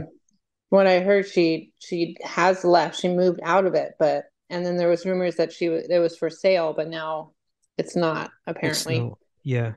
So, uh, yeah. Appa- apparently she moved out during the lockdowns. I've got a report here in front of me and I'm just skimming through it. It's from the Mail Online again. Because Mhm. apparently the Mail Online claims that they've got the exclusive on this story that came out in February of 2023. And I'm just skimming through it. And apparently, um, yeah, she decided uh, she actually moved out um, during the lockdowns, but she's now decided since then that that's it. She's not going to return. Um, Right. So, so she announced that in the 50th year of having moved in there with John Lennon. They moved in in 1973, and it does it does go on to mention her ill health. I think we mentioned it in a previous episode. Um, Yeah. yeah. It says here um, she was once the toast of New York City, but has been forced to step back from public life as a result of her ill health in recent years. It's been reported that she requires round the clock medical care. And at an event in 2017, which she attended in a wheelchair, she remarked from the stage, I have learned so much from having this illness. Uh, but I don't know what what the illness is or was. Yeah. Yeah. I don't think it's been revealed. No. Um, some people have suggested cancer, but yeah, no one actually knows for sure. Well, the people close to her will know, but we we certainly don't. Right. Um, so that got me thinking about the Dakota itself, this place that they that she and John lived at for all those years. Um, um, and it's an interesting building to say the least. Um, I don't know what you know about the Dakota itself. There's certainly stories of hauntings for a start. Um, yeah, it's one of the most haunted, famously haunted buildings in America, in North America. Yeah, Yeah. for sure. I've got. Um, I, I just learned um, just the other day. Um, I was looking up some stuff about the Dakota for this, and it has its own mortuary. Did you know that? In the basement, apparently, of the Dakota, there's a room that was built specifically because um, the man who built it, whose name is escaping me at the moment, or the Cap- architect. yeah, Edward Clark. There you go. Yeah, it was built in the Um, 1800s. Yeah, by Edward Clark. Right, in the 1800, 1883, I think it was commissioned, if I remember right, and build a specific room for um, residents who would have passed away in their apartment could be taken down to this room and would never have to leave the Dakota until it was time for their funeral. And there's a Oh. mortuary door on the back side of the building that um, is it goes right to only to that mortuary, you know, only to that little space that was commissioned for that. And there's a door that leads out to the back area of the Dakota so that they can leave in in privacy and the hearse can come and pull right up next to it and take the body away. But John was never. that? I never knew that. Yeah. No. I all of these years I never knew that. That was very, very strange to learn. Was John Lennon's body ever taken there at any point? I don't know because I don't think so because the remember the police came right after he was shot and the police car actually took him to the hospital. Yeah. So I don't think he ever saw the inside of that that room. But but who knows? Maybe Yeah. they did. All kinds of weird stuff happened that night. So Yeah, exactly. Um, I've looked into this. I, I actually bought a book. Um, it's called Life at the Dakota: New York's Most Unusual Address, It's by Stephen Birmingham. Um, Mm. Yeah, it was it was built in the 1880s, and at the time it was built, New York was still a young place at the time, and it was virtually deserted. If you look Mhm. at pictures from the 1800s when it was there first there, there was actually pretty much nothing around it. It was like prairie land almost. I mean, Right. this is like early days of of of the Dakota. Um, apparently, when John and Yoko moved in in 1973, they moved into an apartment. The person that had been in it before was an actor, an Oscar-winning actor, Hollywood actor, who's called Robert Ryan. Mhm. Um, I'd never heard of him. Um, when I when I read the name, I thought Robert Ryan. Who's Robert Ryan?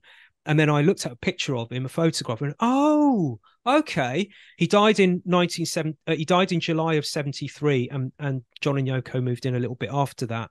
Um, he lived there with his wife.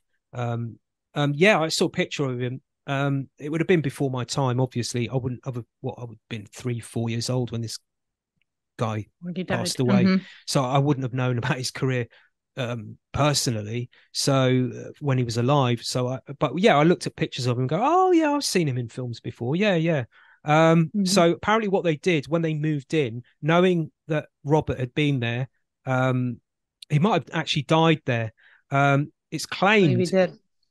he did. It's I believe he died in in that apartment. Yes. he di- actually did. So that would explain then why it's claimed that John and Yoko held a séance to summon him up. Yeah. According like to but like right right away like before all their stuff was moved in i believe Oh, They did a really? seance for you know one of the very first things they did when they when they um uh bought the the apartment and ac- according to this book, um, I won't read the extract from it. I'll just sort of scan through it and, and say it as I see it. Basically, um, they held this séance um, and they summoned up um, Robert's wife, who died of cancer. Uh, apparently, she died in the Dakota as well. And she told John and Yoko after she'd summoned them up.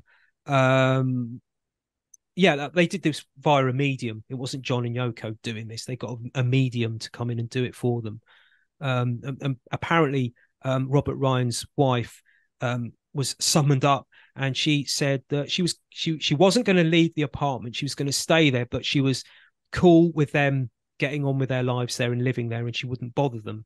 Apparently, right um, and Yoko then telephoned the daughter of uh, the, the of Robert and uh, Jesse Ryan. She they telephoned uh, Yoko telephoned the, the daughter and told her what her mother had said to her in the séance. And apparently, the daughter said, "Oh, if my mother's ghost belongs anywhere, it should be with me, not with you." Um, yeah, that's according to yeah this book that I read, um, which is called Life at the Dakota, New York's most unusual address. Um, also in that book, there's uh, you, you talk about the basement. Um, actually, I'll get onto that in a minute. Apparently, a- another story of a haunting, and again, this is from the book, the same book. Uh, not long ago, a resident by the name of Frederick Weinstein had a most curious experience. Uh, he was walking home to the Dakota and before crossing the street, paused to look up, as apartment dwellers often do, at the windows of his apartment, which faces both 72nd Street and Central Park. He was startled to see through the windows of his living room an enormous crystal chandelier suspended from the ceiling, ablaze with light. He checked the windows again, counted the floors. It was obviously his apartment. No other hmm. apartment occupies that particular third floor corner. And yet he knew that his apartment contained no crystal chandelier, nor had it as long as he had lived there. Of course, when he got upstairs, the crystal chandelier had gone. But there was, as there had been from the time the Weinsteins had taken the apartment, a round nipple protruding from the center of the living room ceiling, from which, once upon a time, a chandelier of some sort had clearly hung. Um, wow. yeah, and again from the same book from Stephen Birmingham, um, there's a, a Mrs. Vesley, Elise Vesley, who lived at the Dakota, or at least I don't know. Actually, I don't know if she actually lived at the Dakota. She was the lady managerette. manager Uh, Yeah, uh, the, sm- she, the smiling lady Yes, I was going to get to Mhm. that. That's who John calls the smiling lady, the ghost of the the crying lady. Sorry, yeah, John referred to Mm. as the crying lady. Apparently, Crying lady. um, apparently she'd undergone a deep personal tragedy, according to Stephen Birmingham's book. Her handsome young son, the apple of her eye, one day had been struck down by a truck on 72nd Street, just in front of the Dakota, and killed. Uh, she never quite got over that. Um, she believed in psychokinesis and claimed that with the power of her mind, she could move large objects. Uh, and yeah, as you say, John Lennon saw um, quote unquote paranormal sightings.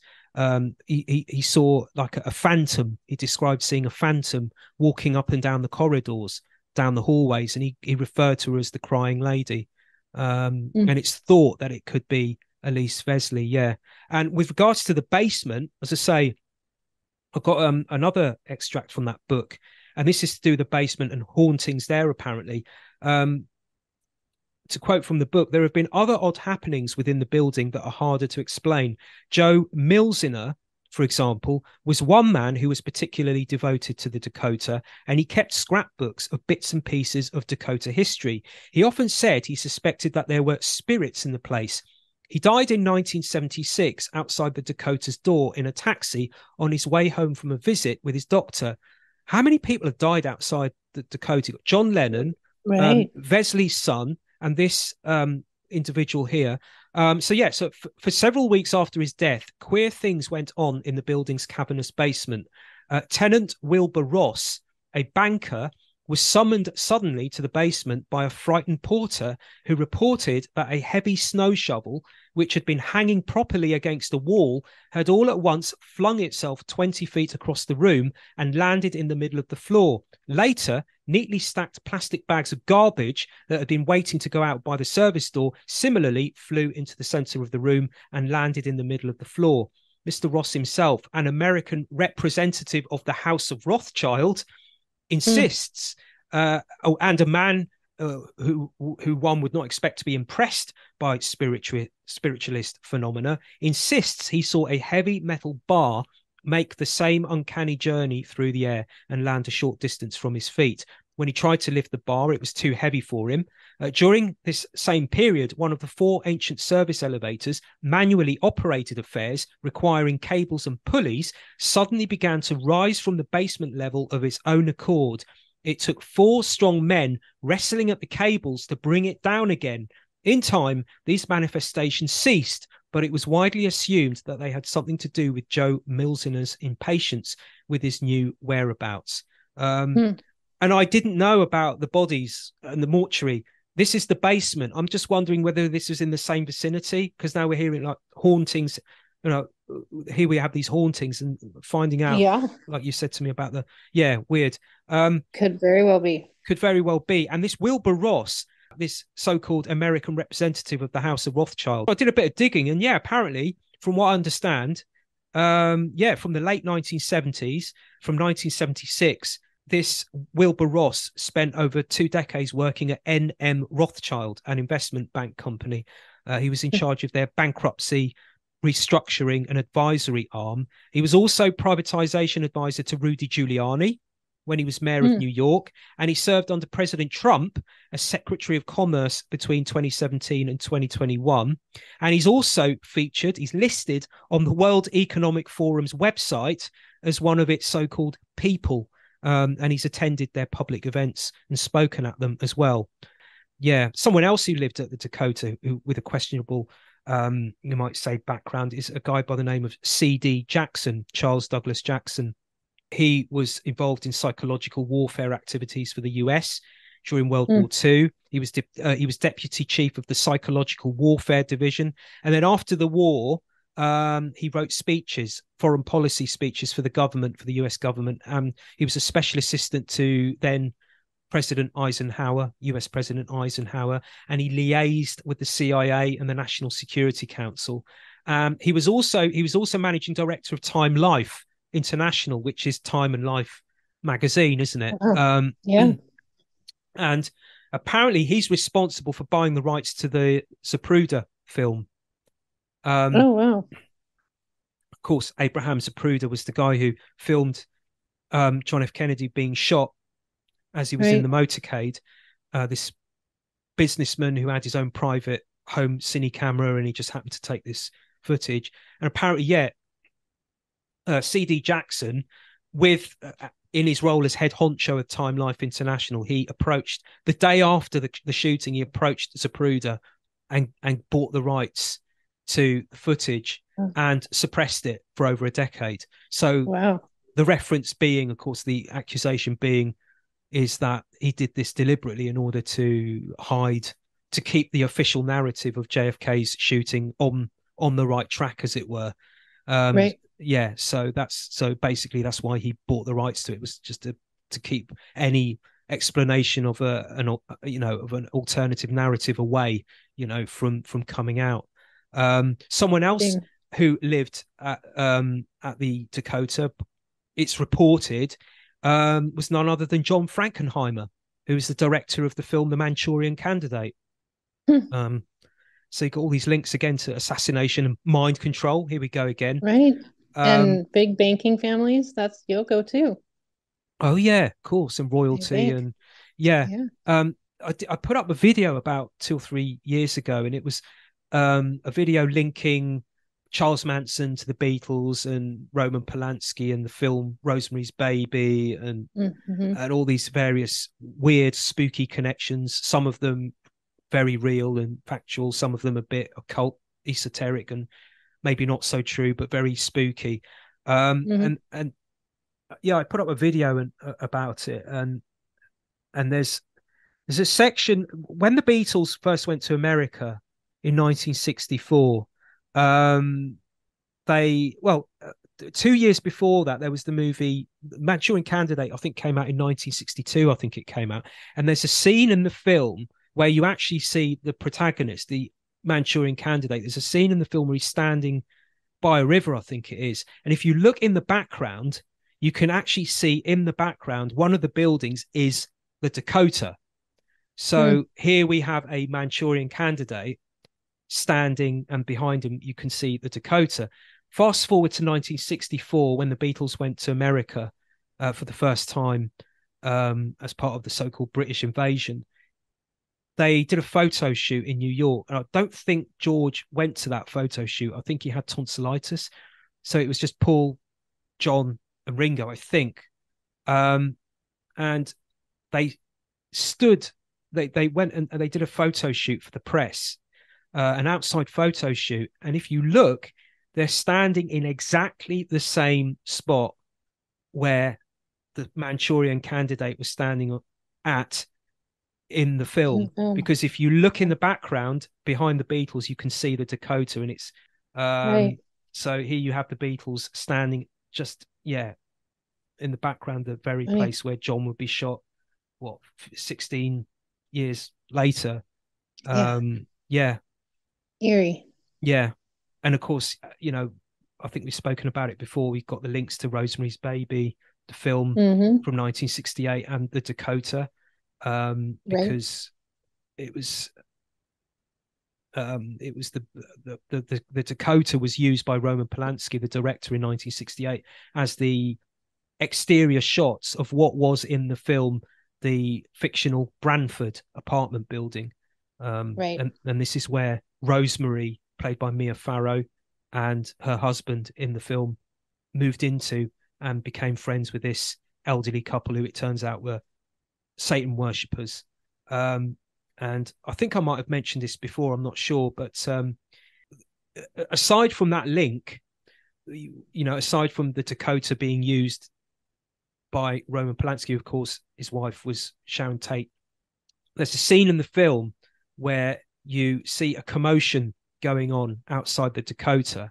And what's happened is, is somebody has fallen out of the window. A young girl, a young lady has fallen out of the window. Now we don't know if she was pushed, whether it was uh, suicide or whether it was an accident. We don't we don't actually learn that in the film, but all we know is that she's fallen out of this window and she's landed outside the Dakota. So again, somebody dying outside the Dakota. Okay, it's fictional, but so and as we get And closer, she she landed on a, a white Volkswagen Beetle. Exactly.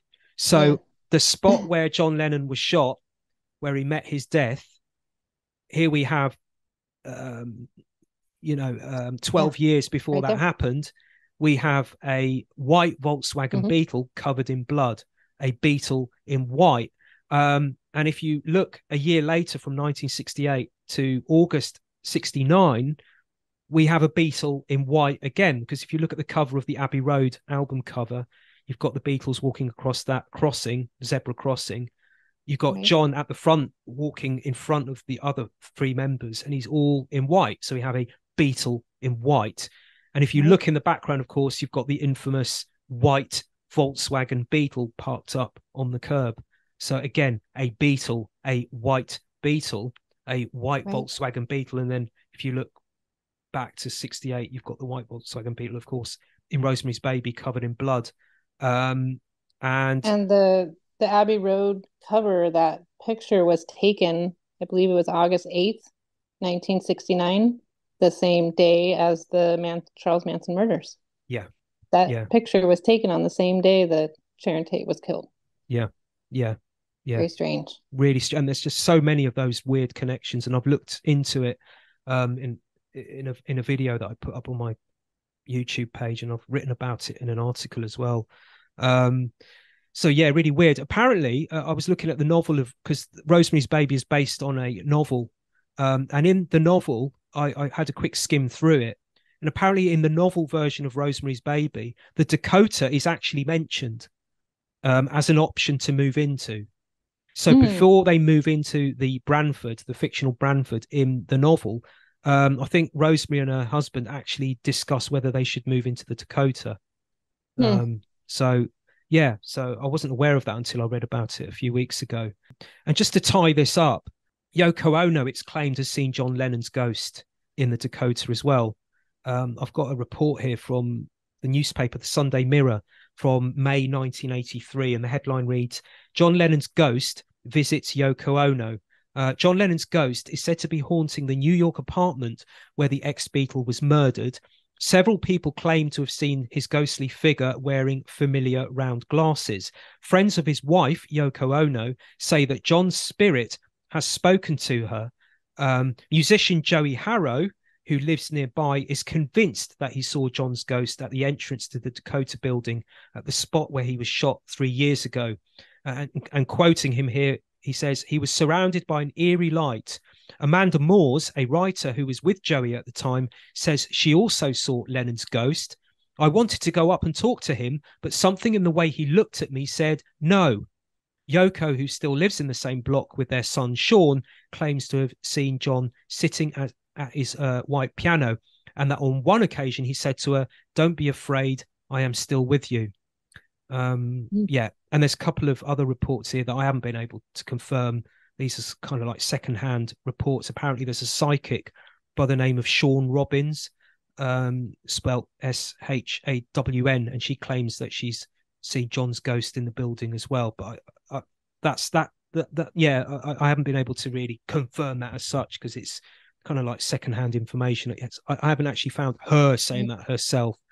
But um, yeah, well, well, okay, we're coming up to the end now, and I thought this might be a good spot to mention um, the passing of Denny Laine. Um, Mm. Yeah. So, so, Just uh, saw him uh, play a live performance just a few months ago. It wasn't even that long ago.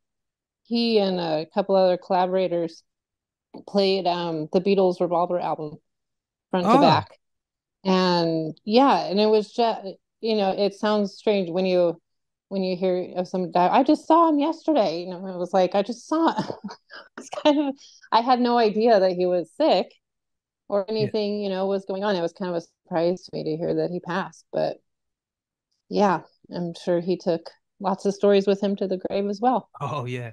Uh, for Yeah. anyone who doesn't know, Yeah. quickly, he was like the permanent member of Paul McCartney's '70s band Wings. I mean, uh, it, it was formed in 1971. They kind of split very quietly in 1981, I think. Um, but he Yeah. was the constant member along with Paul and Linda McCartney, Paul's wife, then wife, uh, because there was a lot of band member comings and goings in that that band, wasn't there? I mean, it was constantly changing lineups. Um, a drummer would come, he'd leave. Another one would come in. A guitarist would come, would leave, come in. Bass player, etc., etc. It's but the one constant member apart from Paul and Linda was was Denny, who was with them from the beginning until the end. Um, Right. I've got an official statement here from his wife on a on Denny Laine's official Facebook page. Um, she says, "My darling husband passed away um, peacefully early this morning.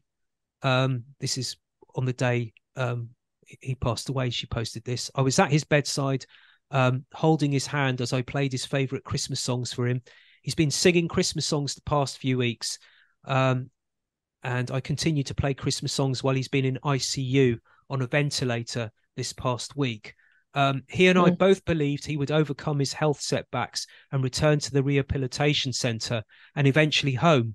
Unfortunately, his lung disease, which is, and I, I, I apologize if I pronounce this wrong, his lung disease, interstitial lung disease, ILD, is unpredictable and aggressive. Each infection weakened and damaged his lungs. Uh, he fought every day. Um, all he wanted was to be home with me playing his gypsy guitar. Um, again, uh, just uh, as as it always is in the Beatles world, you have these what some people might deem to be coincidence, um, Right. but others wouldn't. Um, they deem it to be something more strong, stronger than that, and and you get this in the world of quote unquote celebrity. You get when when celebrities die, and and you suspect that something amiss, something suspicious might have happened, or even when you don't. There's all these kind of weird synchronicities that are attached to that person's that celebrity's death. Apparently, there's a new repackaged re-release of the Wings album uh, from 1973, Band on the Run, um, which Danny was on, of course. That's coming out next year. It's coming out in February. Mhm. It's coming out on February the second, 2024. Um, now, the re-release of this Band on the Run, which is coming out next year, was was announced on December 4th, 2023. And the next day, December 5th, is when Denny Laine died. Hmm. Um, add to that, Band on the Run, when it was originally released, was released 50 years earlier in 1973. To the day, exactly 50 years earlier, Band on the Run was released on December 5th, 1973. A fif- Yeah. yeah, so weird, weird, weird, weird. Um, Yeah. yeah. Um, and you talk about secrets. Have you ever heard that um interview that he did with somebody called Outlaw Renegade Nation? It's on YouTube. Um, About Paul is dead. yeah. Basically, this this interviewer asks him, and you can find this online. I think it. I think the actual title of it online is Denny Laine interview with Outlaw Renegade Nation. The whole interview is about twenty minutes or something like that, but you can find an edited version where it's just this piece about Paul is dead. And basically, what this interviewer asks De- Denny is, and this was this was filmed about four years ago or so. What was it like playing with Billy Shepherd instead of Paul McCartney? And Denny Mhm. says, "Who's Billy Shepherd? Billy Shears." and he and the interviewer says, "Ah, Billy Shears Campbell. That's all you had to say, my friend. Thank you." yeah. Okay. Right. I'm going to wrap this up. Um, and I thought we'd wrap it up with something quite humorous. Um, I don't know if I sent you this link. In the last episode of of, of Magical Mystery Talk, we talked briefly about um, Rolling Stone magazine, the online version of it, this so-called Bible of mainstream rock music, this mainstream rock magazine. There was an Mhm. article about Beatles conspiracy theories. We talked about it in the last episode, and and how Rolling Stone tried to tag people who are into cons- Beatles conspiracy theories, um, tried to label them as being um, wacko QAnon um, nutters, basically Right. freak freaks, basically. Um, well, and I think that's how we closed the last episode, and I'm going to close this episode with some more mainstream reporting on Beatles conspiracy theories. And this time it's centered around Ringo because there was an article. I don't know if I sent you the link to this. There's an article and it's on a website called vulture.com and it's with Ringo. It's an article with Ringo and they ask him a, a number of questions. And one of the questions was under the title Ringo Conspiracy Theories. So it's not even a question, it's just a title. And he answers he answers, he, he gives his answer to the title. And this is what he said. He said, We only ever had one conspiracy that stuck. That was Paul is dead. And there were some songs people pointed out as being, quote unquote, secret. John, by accident, learned how to play a tape backwards, and we put that to full use. So we just do something silly at the end of a track, and it'd be all over the newspapers and on the radio. Hey, they're actually singing blah blah blah blah blah blah. It just made us all laugh. All of those interesting things we said were not that interesting. We had a great laugh about that, though. Look at what they're saying now. I do sometimes get the feeling that they they listen to us and they they know what we do. I'm not I'm not trying to blow our you know you know trumpet No, you- blow, you blow know- the trumpet or anything, but I just get the impression sometimes that they know, you know, and they listen and they watch and they look and they read. I I honestly believe that because you know, if maybe if they don't personally, they have somebody who does, you know, who just keeps up on on all of the things just merely for security in a way, you know, because if you have somebody who, you know, has some kind of vendetta or something against them, you know, like they they've had death threats and they've had John Lennon actually murdered and you know all of those those things and so it would be it would be a good security um investment to to keep up on people who might be you know saying bad things or whatever not that we're saying bad things No. but just you know yeah. I, I if I had all the money in the world and all the people who wanted to, you know, work for me and all that, I mean, why not? Keep Yeah. up on it.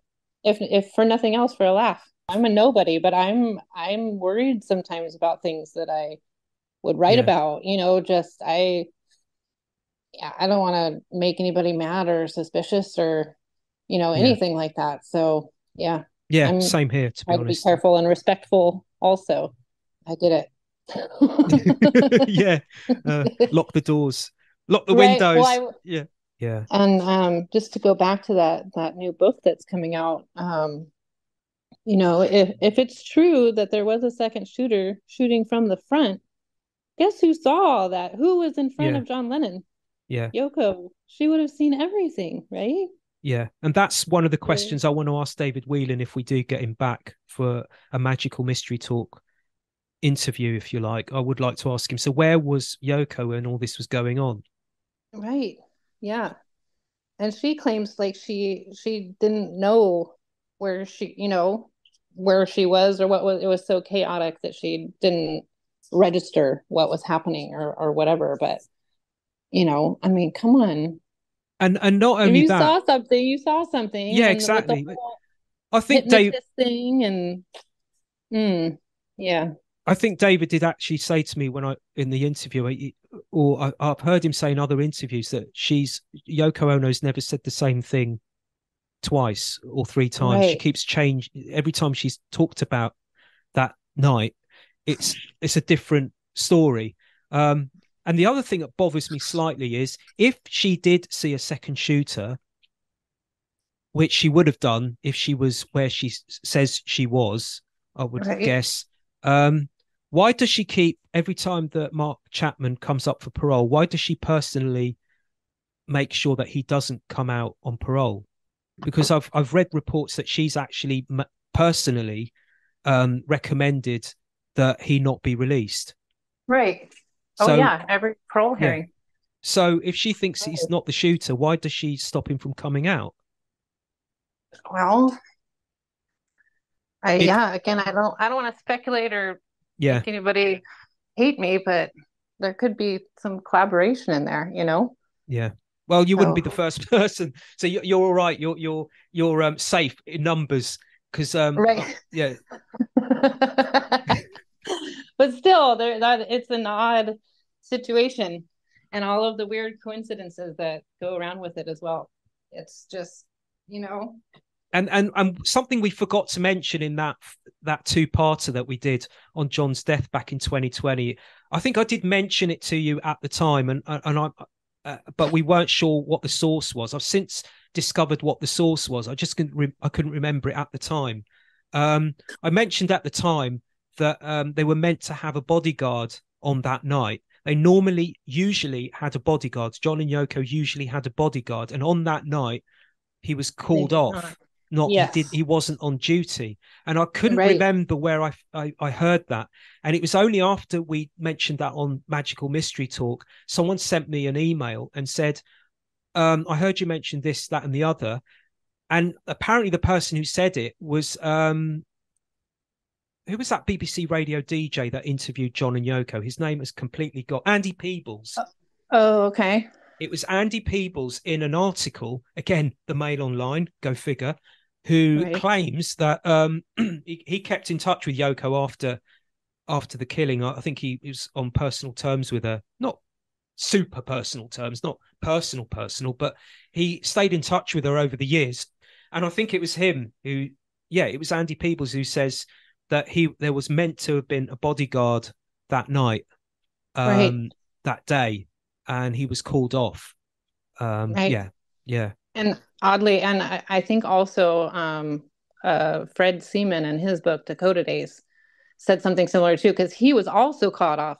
Fred Seaman was um, John Lennon's personal driver yeah. and um, you know, personal assistant and whatnot. And He was and like- he was also called off that day yeah. unexpectedly. So when he was supposed to be working. So yeah, all Yeah. kinds of strange stuff. And and and Seaman was like the Mal. He was like the Mal Evans for John. Right. And he looked a lot like John. He He, was mistaken for Yeah, John a couple of did. times out in public. Yeah. So You- yeah. there's footage of him in, in interviews. I think I saw a video of him a few weeks back, a week or so back, as we're recording this, where he's being interviewed by Joan Rivers, um, of all people, and May Pang is on the sitting with him.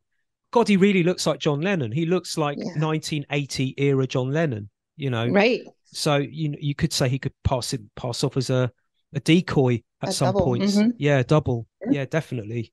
Um, Yep, absolutely. And he he's gotten lots of flack from Yoko. He tries to, you know, she he released that court. book and yeah, she took him to court and he's like not allowed to speak about anything at all during his employment there. And yeah, he's been told to cease and what's that, cease and desist.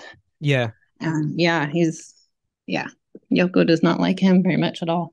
yeah. So, Okay. Anyway, Anyway, anyway, anyway, we'll wrap this up. good show number nine. Yeah, number nine, number nine, number nine, number nine, number nine. Yeah, number.